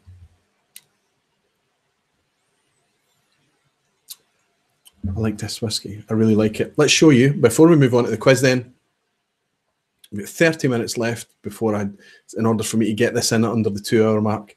Um, let's share with you what the last drama is. Let's remind you as well that the Scotch for Dummies will be doing a live stream later tonight. So if you're on that time zone, catch the S4Ds. They're doing a, a really cool overview of the Game of Thrones Diageo releases right now. They've managed to get their hands on those. Um, way ahead of us in the UK. It's not released in, in the UK until I think February, the Game of Thrones stuff. There is a few in the, the lineup that I'm interested in, the Clynelish, the Lagavulin, the Oban, for example. I would like to um, understand what they are and uh, and try them. Um, but those guys are doing that, and they'll probably be talking about that in their live stream later tonight as well. Um, I would also like to shout out uh, Gustav from the Whiskey Couch in South Africa. He was kind enough to send me two South African whiskies, and you'll see them sitting here just behind me. Um, he also sent something no nonsense whiskey. Vin and Vin and I were trying to work out if there's any opportunity for us in the coming weeks to do a collaboration where we could open those and taste those together. Um, but I've had a wee sniff and a, and a, just a tiny sip out of both of those, and they already have intrigued me. So I would be keen to try those South African whiskies sent to me from Gustav at the whiskey at the Whiskey Couch channel.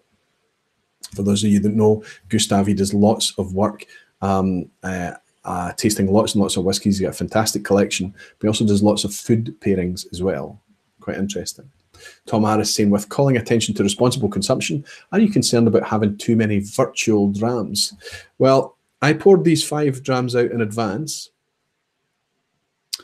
and they were small drams, Tom. They were half pours, I would say. That's what I intend to drink tonight. So hopefully, these virtual drams yes, I'll raise a glass and just have a sip. But I hope that they are converted into drams at some point. Sparingly, perhaps. Daniel is saying, I heard March. Uh, what did I what did what did I commit to for March? Oops. I'm not sure what you mean, Daniel. Have I committed to something? Whiskey Whistle Mark is saying, time to park, my friends, no problem. The Xmas and wish me luck. Cheers, Roy. Cheers, Mark, and thank you very much for stopping by. It was nice to have you while you were here. And Tom is saying I was making a bad joke about the super chat drams. Yes, don't worry, don't worry about it. But I think, I think it is, and I think I've said enough about the responsible drinking. I think I've kind of got the message across, and also just the idea that it's it's on my mind, and it's certainly been on my mind recently with the run up to Christmas and things. What I should be doing is, is worrying more about the money I've been spending on whiskey. Hmm. Maybe have a, a break in the new year from that. Keith Corbett saying, say hi to your kittens, Brora and Barley. The other one is Keith. My son is home from uni and brought my grand kitty Gouda. Fantastic, Keith. Say hello to Gouda right back. Yeah, the cats have settled in really, really well. Nice spirits to have around the house, I have to say very gentle, very tame, very friendly little guys, and just starting to fit their names, I would say. Um, and Whiskey Throttle is saying, don't ask about money here. Absolutely right. Okay, my last dram of the five is a peated dram. Now, I didn't force myself to put a peated dram in here. I did not. Um, I was okay with having five drams without a peated one being in there. But this one struck me for a few reasons. And this is a distillery that I first tried way back in 2010. Um, at that time, they had only they didn't have much out there available. So it was maybe the second release I think I tried, and it was while I was out in Islay. Um, so you've probably guessed what the distillery is already. And uh, I thought it was okay. I thought it was a nice enough whiskey. And I tried some over the years. Some were really, really good. Some were okay. But I've got a bottle downstairs that I really don't get on with at all. Fourth edition, 100% Islay. Don't love it, but this one has come alive. My God, what a whiskey this is.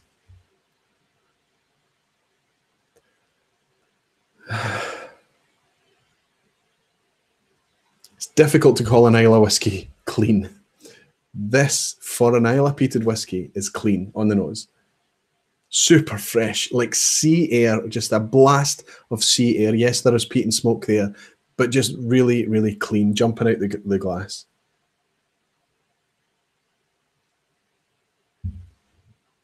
Mm. That's what I was hoping for, that texture. Lovely texture. Lovely whiskey. Lovely whiskey. They've become a distillery that have shown that they can make damn fine product. This is the eight-year-old 2009 vintage.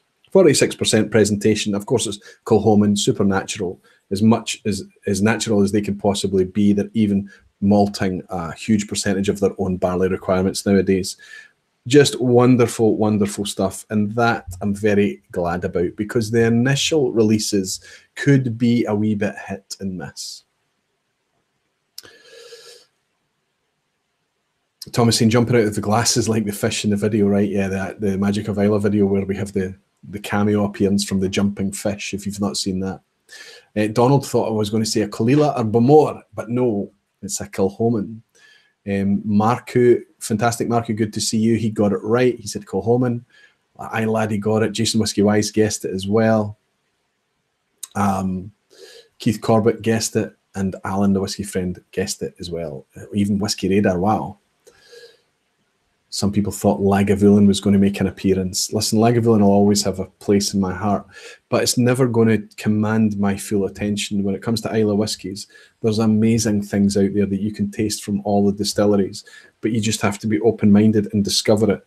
And this one is an absolute cracker. Now, this is an eight year old whiskey, and I think this is about I think it's about 70 pounds of that order, okay? So it's not a cheap eight year old whiskey.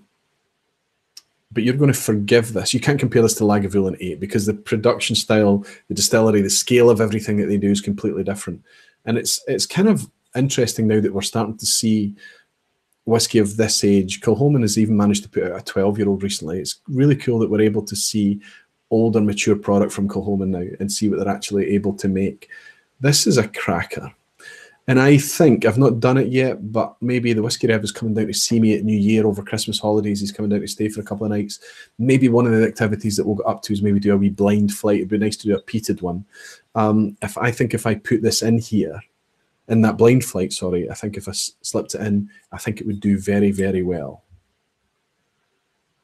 It's not cask strength. It doesn't have the same power or hit as if it was cask strength. It's 46%. This is kind of very, very available part of their core range now. Um, 46% presentation, but it's there's plenty engagement in there.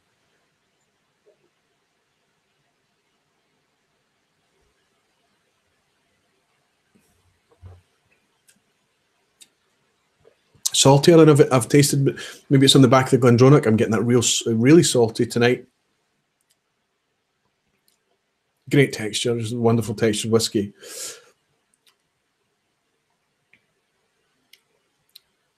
So if we talk about that idea, uh, when earlier we were talking about the Octomores being super peaty and smoky, this will go up. This this will go toe to toe with an Octomore. Fantastic stuff maybe it's difficult to spend the money on it because it's a wee bit more expensive. But I, if you, if this is your bag, if you like this style of whiskey, this little bottle here will not let you down. Spend your 65, 70 quid on it.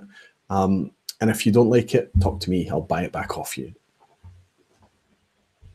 It's really, really good.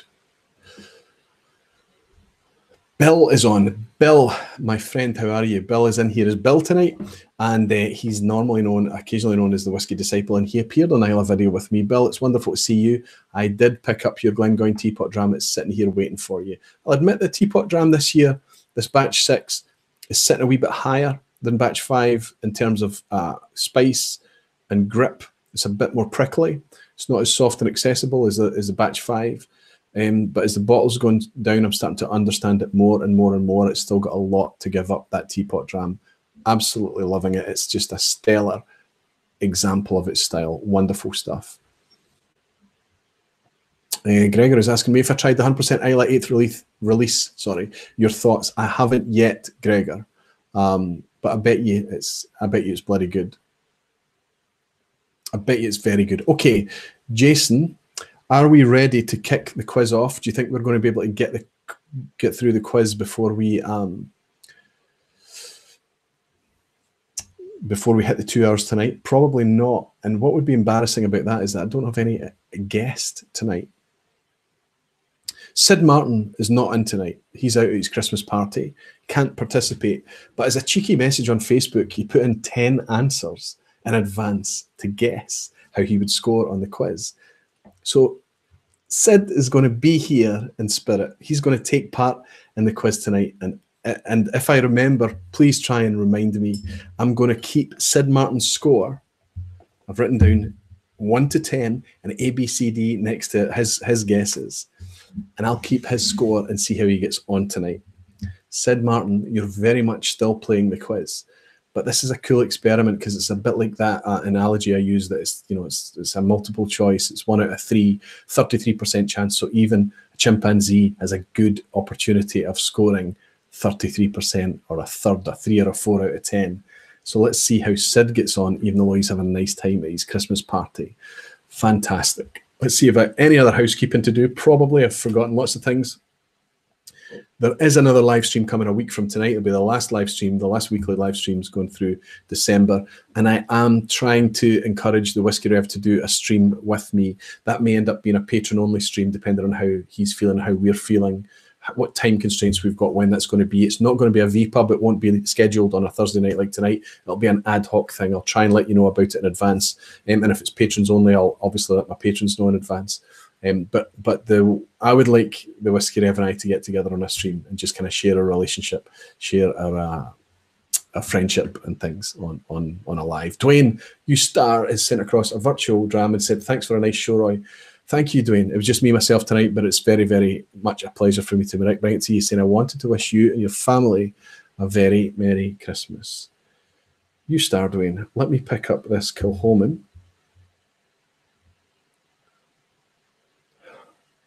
and raise a glass and say, Thank you for your virtual dram, Dwayne, and thank you for your continued support of this channel and the things I do. Thank you, my friend.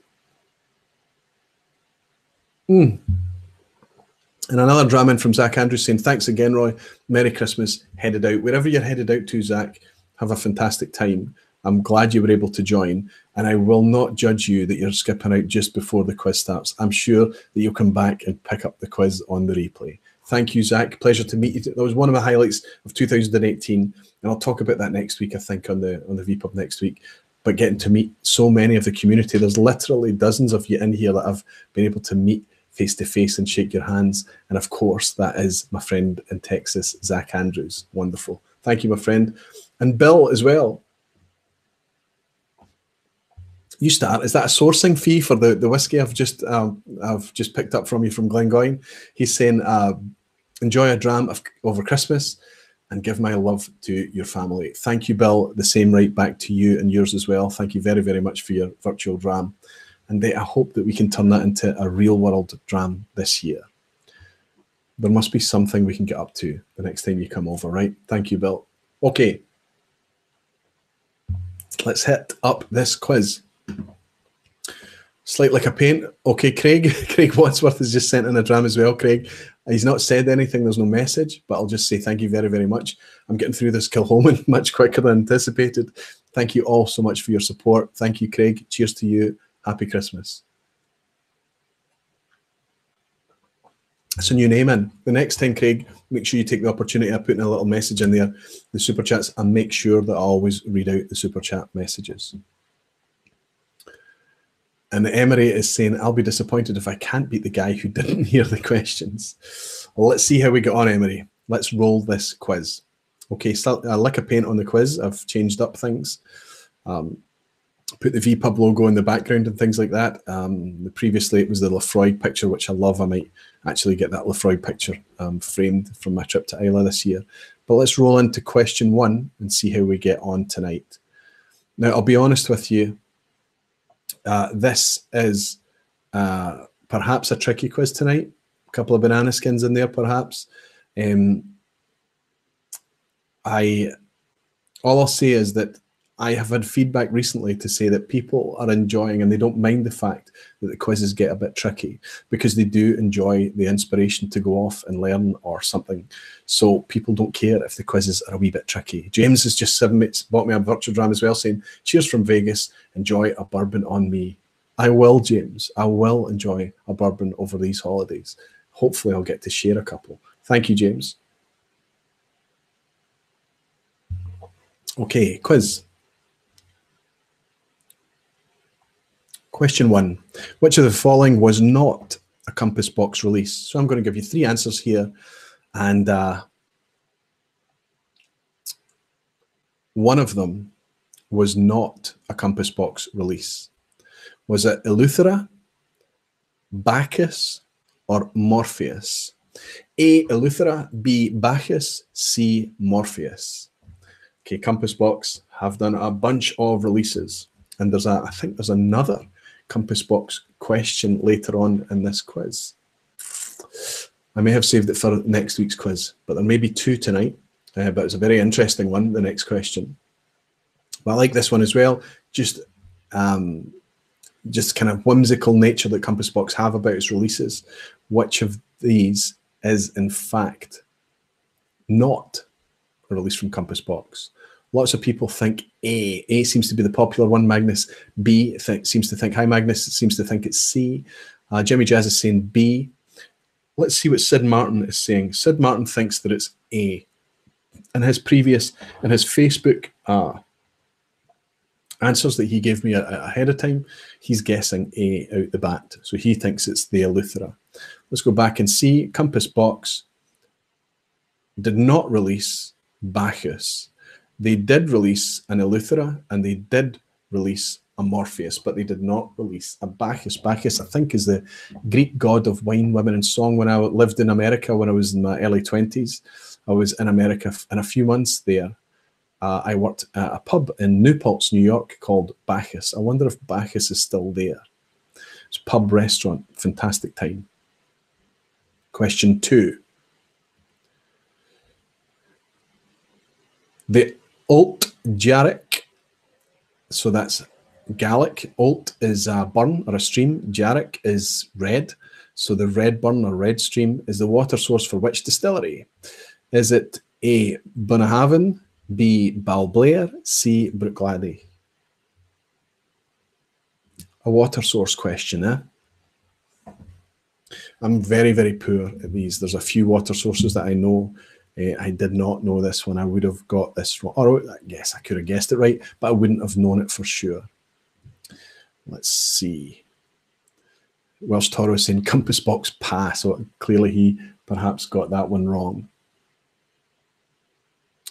Um, Whiskey Jason is saying C, thinks it's Bruichladdich.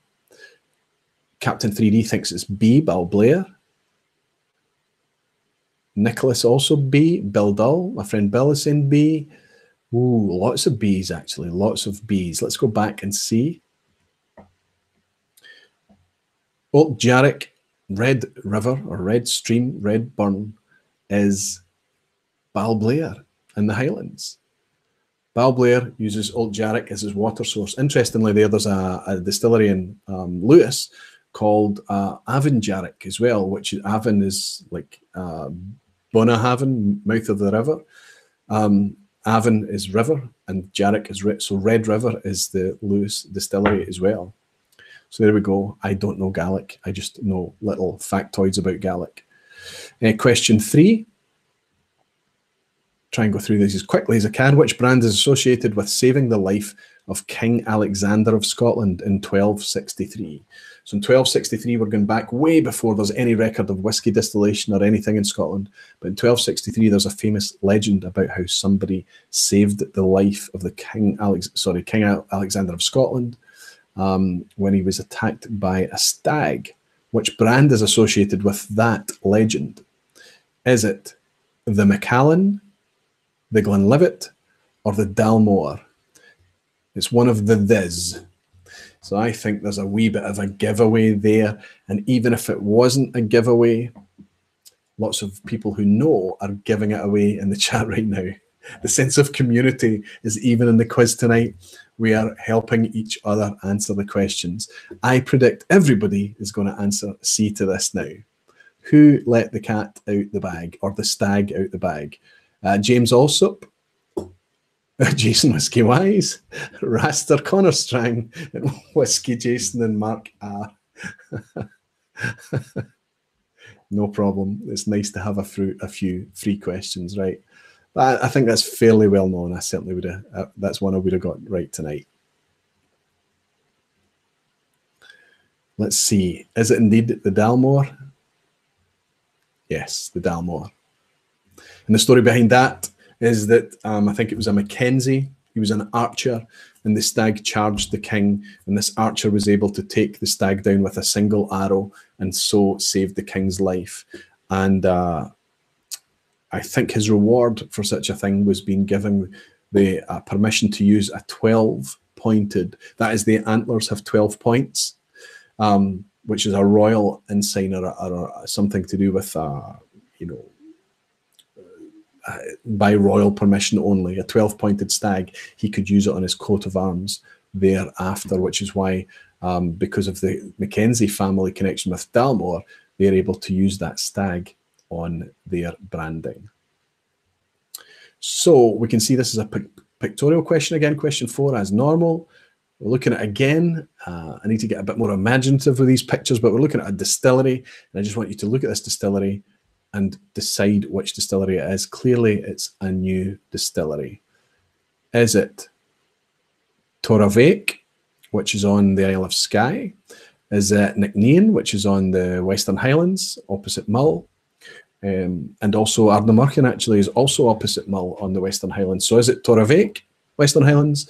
Sorry, Torabhaig Skye, Nc'nean, Western Highlands, or Ardnamurchan? I'm going to keep that up there while I look at the chat so you can study it. I don't think there's any clues in the image. Uh, eh, so far all over the place. Some C's, some A's, couple of B's. Wow. So this is guesses coming in here. Uh, Jeremy Sims is saying, oh, the answer is a complete guess. B, yeah, absolutely. Jeremy, I understand where you're coming from. Hoyt is just sent across a virtual dram as well. Hoyt, you superstar. I'm going to raise a glass with you while everybody's looking at the picture of this distillery here and say, thank you very, very much. I hope you too, Hoyt, have a very Merry Christmas. Thank you for your virtual dram. It's my last sip of Kilchoman there. Thank you. Okay. Questions, uh, it's all over the place. Uh, Greg, Emery, Chris Banks Wildlife, good to see you, Chris, are all thinking it's C. Anna thinks B. Let's see. It is, in fact, Ardnamurchan.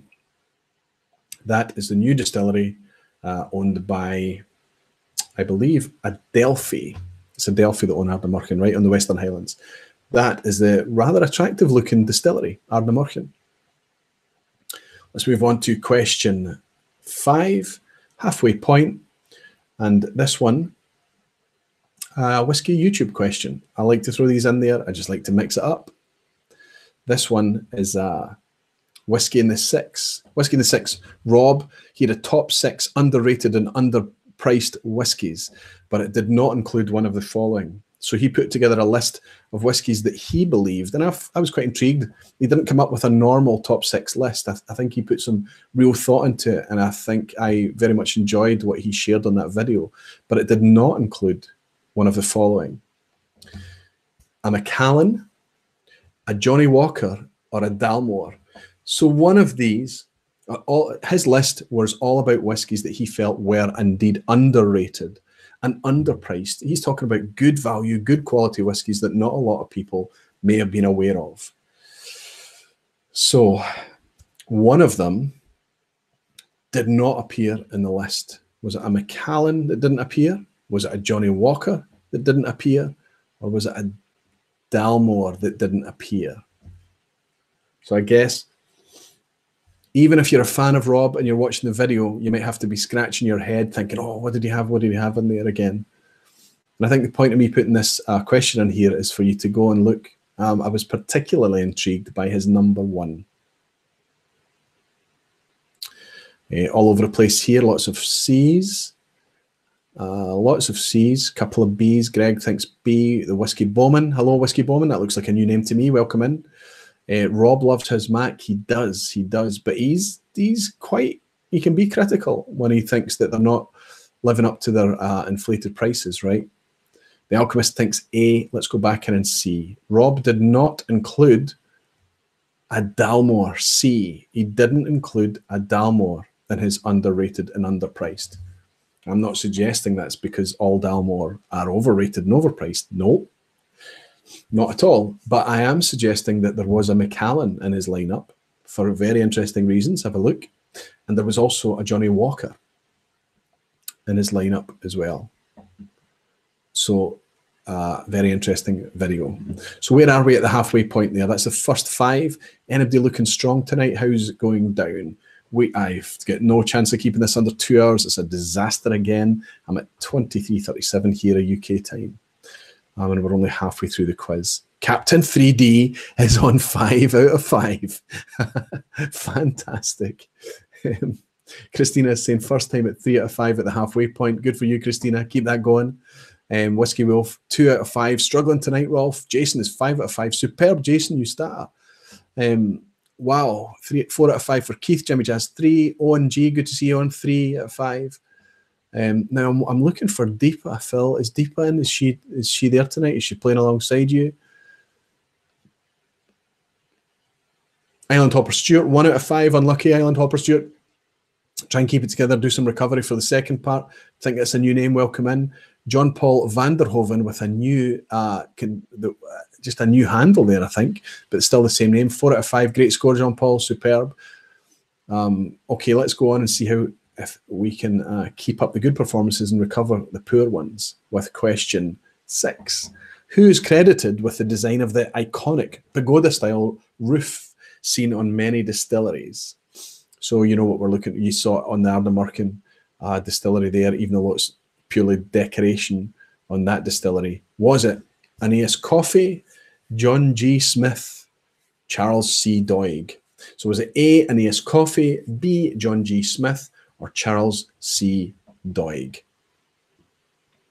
So I'm going to leave that up there for a second, but I don't think you need it up there for that long actually.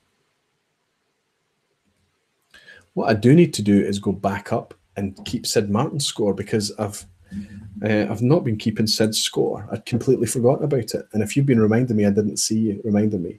So B was the first one. That's a wrong. Second one was B. That's wrong, Sid. Sorry. Three is C. Wrong. Sorry, Sid.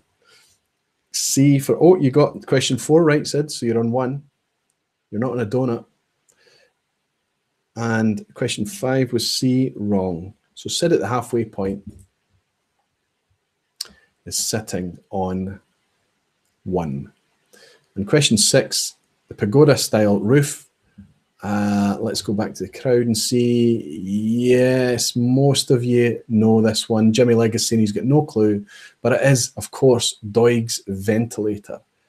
Charles C. Doig. Kudos points to anybody who can tell me what the C stands for. I know you're probably going to Google it, but um, yes, Charles C. Doig invented that famous efficient ventilator that has now become such an iconic marker of a distillery in Scotland and elsewhere in the world as well. Okay, question seven. Compass Box question. I did put it in this week. I like this question though.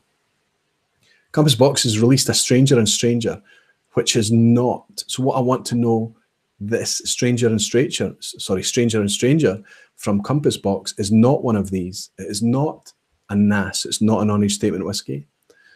B, it is not a whiskey, it's something else other than whiskey. Or C, it's not blended. Now, Compass Box, we know for doing their creations, they're, uh, they typically are non-age statement. Uh, typically, uh, the you know the the makeup of the whiskey you can discover what's in it, but we don't know. But it's normally blends and blended malts that they release. But what is this Stranger and Stranger release? What is it not? i.e., A, that means it must have an age statement this time, or B, it means it isn't whiskey this time, or C, it, it isn't blended this time, it is indeed a single malt. What have they gone and done? What is that crazy cat, John Glaser gone and done? Ooh, quite surprised to see this all over the place. Lots of people favour B with a few A's. Nobody, O'Donnell thinks it's C, which is it's not blended, it's single malt this time. He admits that he's guessing. Lots of people saying B. Okay, let's look.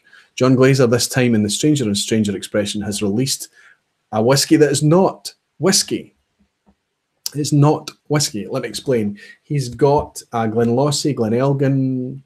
Uh, I can't remember what else was in there. Uh, there's a few other Linkwood, I think, but he's got these whiskies from seven to 22 years old, nice malt whiskies and he's uh, putting 1% of an 18 month old grain whiskey that he was using to season raw casks. But he tasted it at 18 months and decided it was lovely and realized that just adding a tiny little drop of it to this blend added something. And they've released this, put it out there as a product, and uh, the price to join that club is 150 pounds 150 pounds is not stupidly expensive for a 22 year old Linkwood, let's say, but it's on the pricey side. It's not expensive for a 17 year old Glenlossie, let's say. I don't know what these are actually. I'm just saying these. I'm just giving you the, my opinion here. It's very expensive, 150 pounds for that. Obviously, we're not paying for the 18 month old grain because there's so little of it in there. But what that 18 month old grain has done is rendered it not a whiskey. It can't be called a whiskey. There's a component in there that's too young to be called a whiskey, so they've released it as Stranger and Stranger, a spirit drink. But the 150 pounds you're paying for the Compass Box brand, and you're putting your trust into Compass Box that that's going to be a wonderful whiskey. The bottle design is gorgeous. It always is very, very good with Compass Box. But 150 pounds, it's close to 200 dollars, might be more. I'm cynical. Sure, it'll be delicious, but I've got other things to spend my money on. Let's go on to question eight. Which brand can you easily buy red label, green label, black label, and white label contemporary expressions? Fairly straightforward, but it has to be something that's recognizable and contemporary, and you can buy it in a modern environment. Is it Dewar's blended Scotch? Is it Evan Williams Kentucky Bourbon? Is it Johnnie Walker blended Scotch? So, who has red label, green label, black label, and white label expressions available in modern times? Is it A, Dewar's Blended Scotch, B, Evan Williams Kentucky Bourbon? Is it C, Johnnie Walker Blended Scotch? Hope. Let's see what the crowd think about this one. Johnnie Walker, Johnnie Walker, C, C, C, C, C. Joanne Larger saying B. C, C, C. Everybody thinks C. Uh, Whiskey Scout is saying B. Am I making these questions too easy? Kilted Moose is saying B. And Hump and Humbug, I like that name, is saying B as well. Let's have a look. Who has red label, green label, black label, and white label? It is, in fact, Evan Williams Kentucky Bourbon. Yes, I'm waiting on the reaction. There was a Johnnie Walker white label, but you can't buy Johnnie Walker white label in modern times. I don't think you can. At least I looked and looked and looked, and you can't. You can buy Johnnie Walker white Walker. You can buy Dewar's white label. The only producer that has all of those uh, red label, blue label, green label, white label is Evan Williams, Kentucky Bourbon. Uh, Marco's saying what? Magnus is saying banana skin. Uh, is saying got him. so that's a, a, fist pump coming across from Vito there. And Bill looks like Bill Dull looks like he had got that one right as well. Well done, Bill. Let's move quickly on to question nine. I like this question as well. Robert Louis Stevenson's 1880 poem, A Scotsman's Return from Abroad, featured. Now, I'm not expecting you to know about Robert Louis Stevenson. Um, but yeah, read the question. Robert Louis Stevenson's 1880 poem, A Scotsman's Return from Abroad, featured the Glenlivet, Bunnahabhain, or Tomatin. His poem featured one of those distilleries. Was A, the Glenlivet, B, Bunnahabhain, or C, Tomatin? It's quite a cool line. I don't know the poem and I'm not familiar with it, but it's a cool line and I liked it. It was in 1880 this poem was published. And Tom is reminding me, fantastic, not to forget to update uh, the absentees score. Thank you, Tom. You star. Let's go through and catch that quickly. What was six? It was C. He got six wrong. He got seven correct. So he's on two. Eight. Uh, it was B. He got that wrong. So he's currently on two for nine. He got this question wrong as well. I'm going to share with you what that is.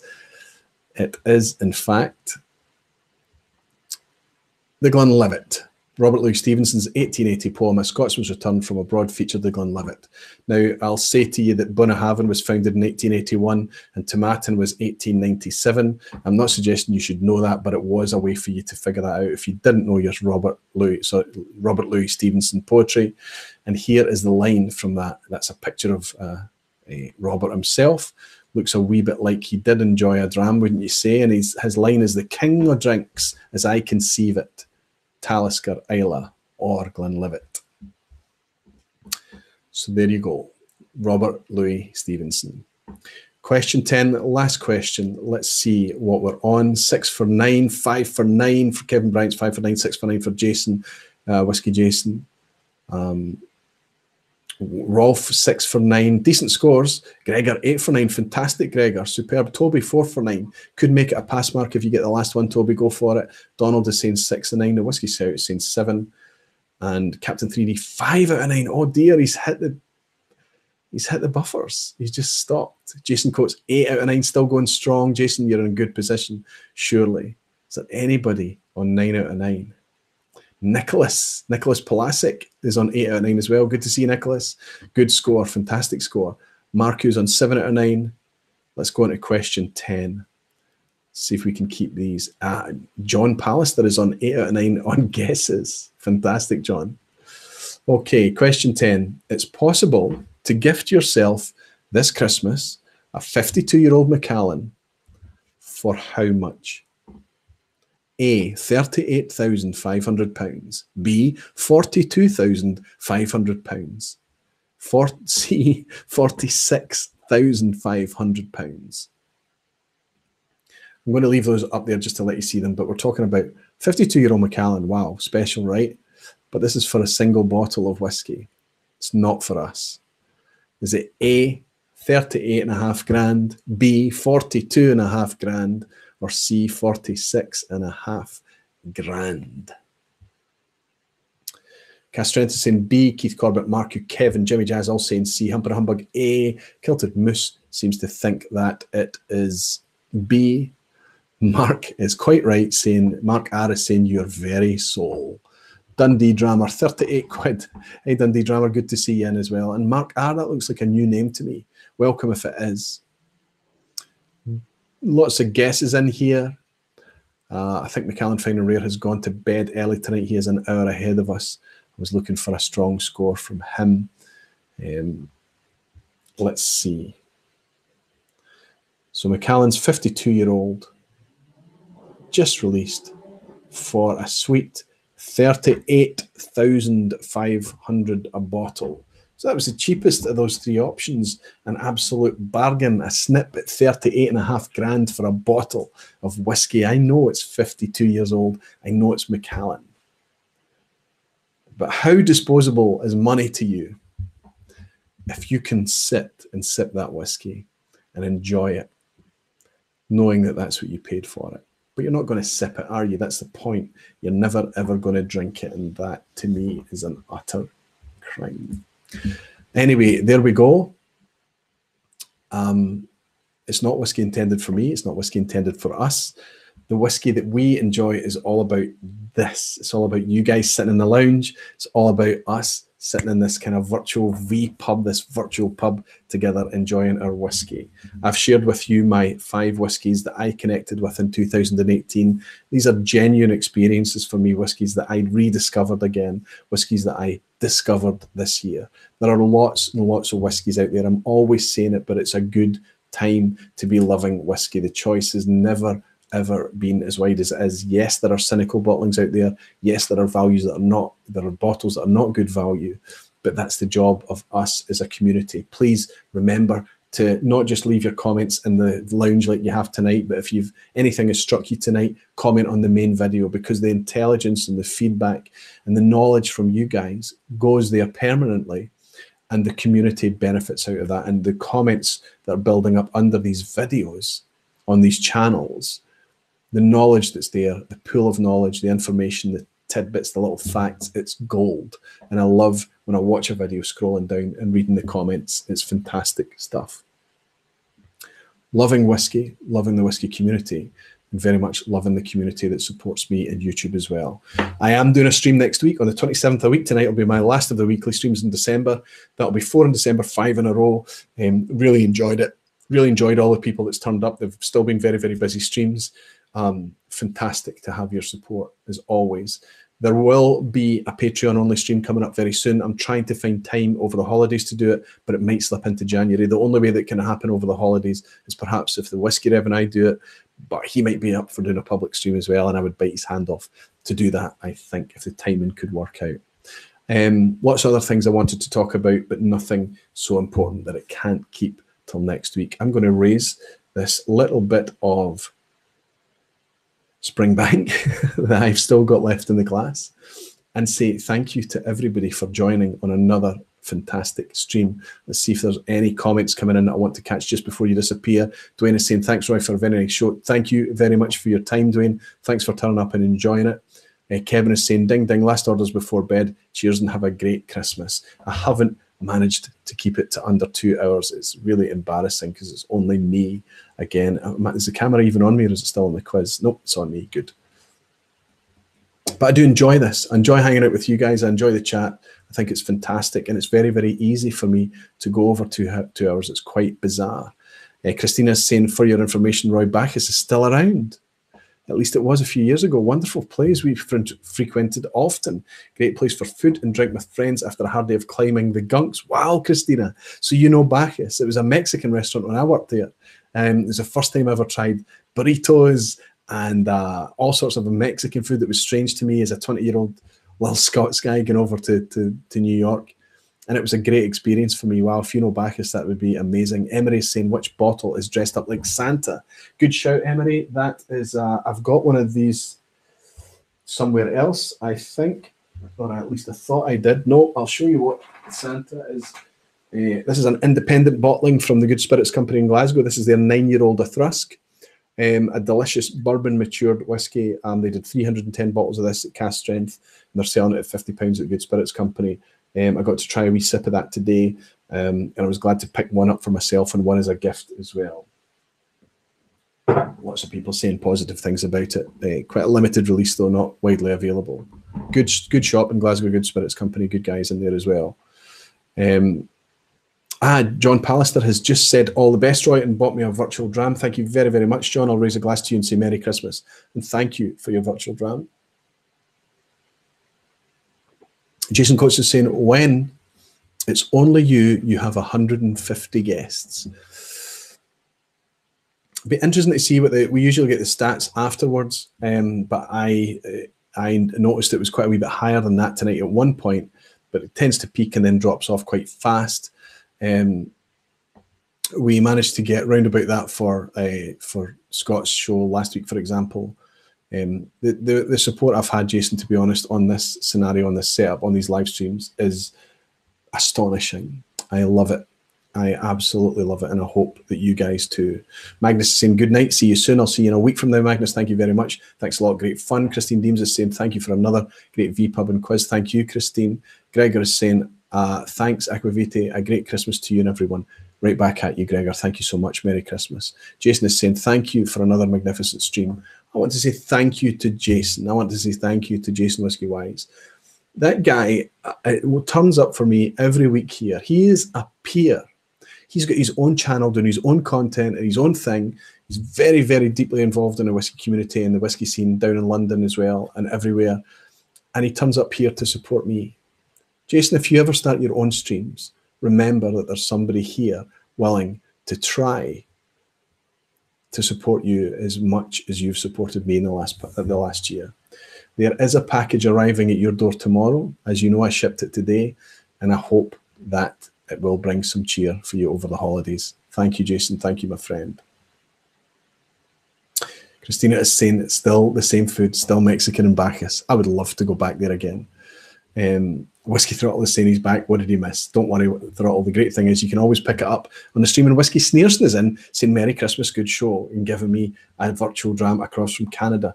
Thank you, Whiskey Sneerson. It's nice to welcome you in here. Thank you very much. Sean Nemo is in. First name I've spotted you, Sean. Getting in here late. Merry Christmas, Aqvavitae. Merry Christmas to you, Sean, as well.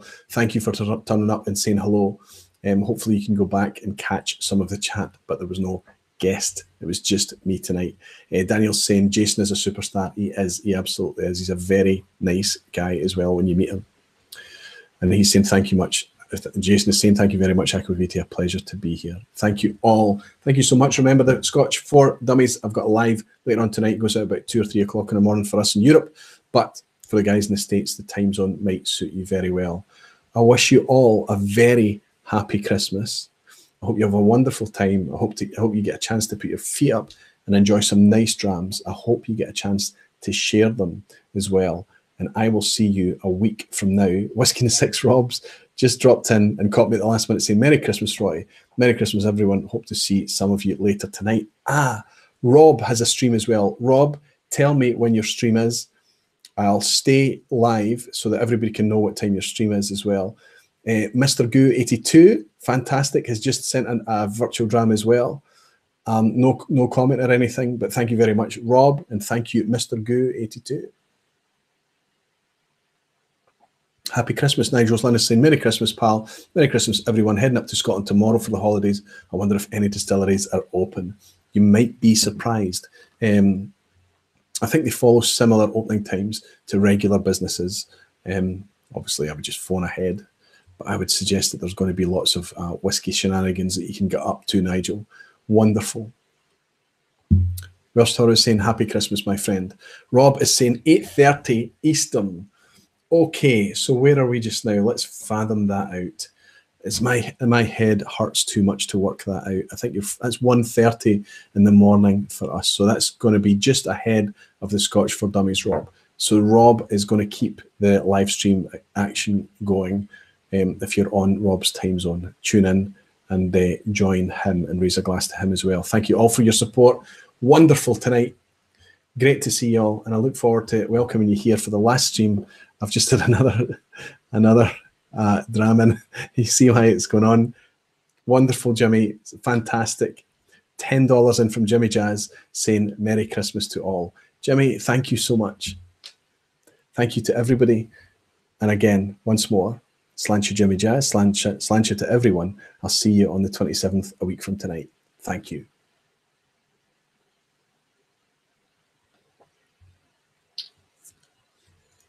Springbank.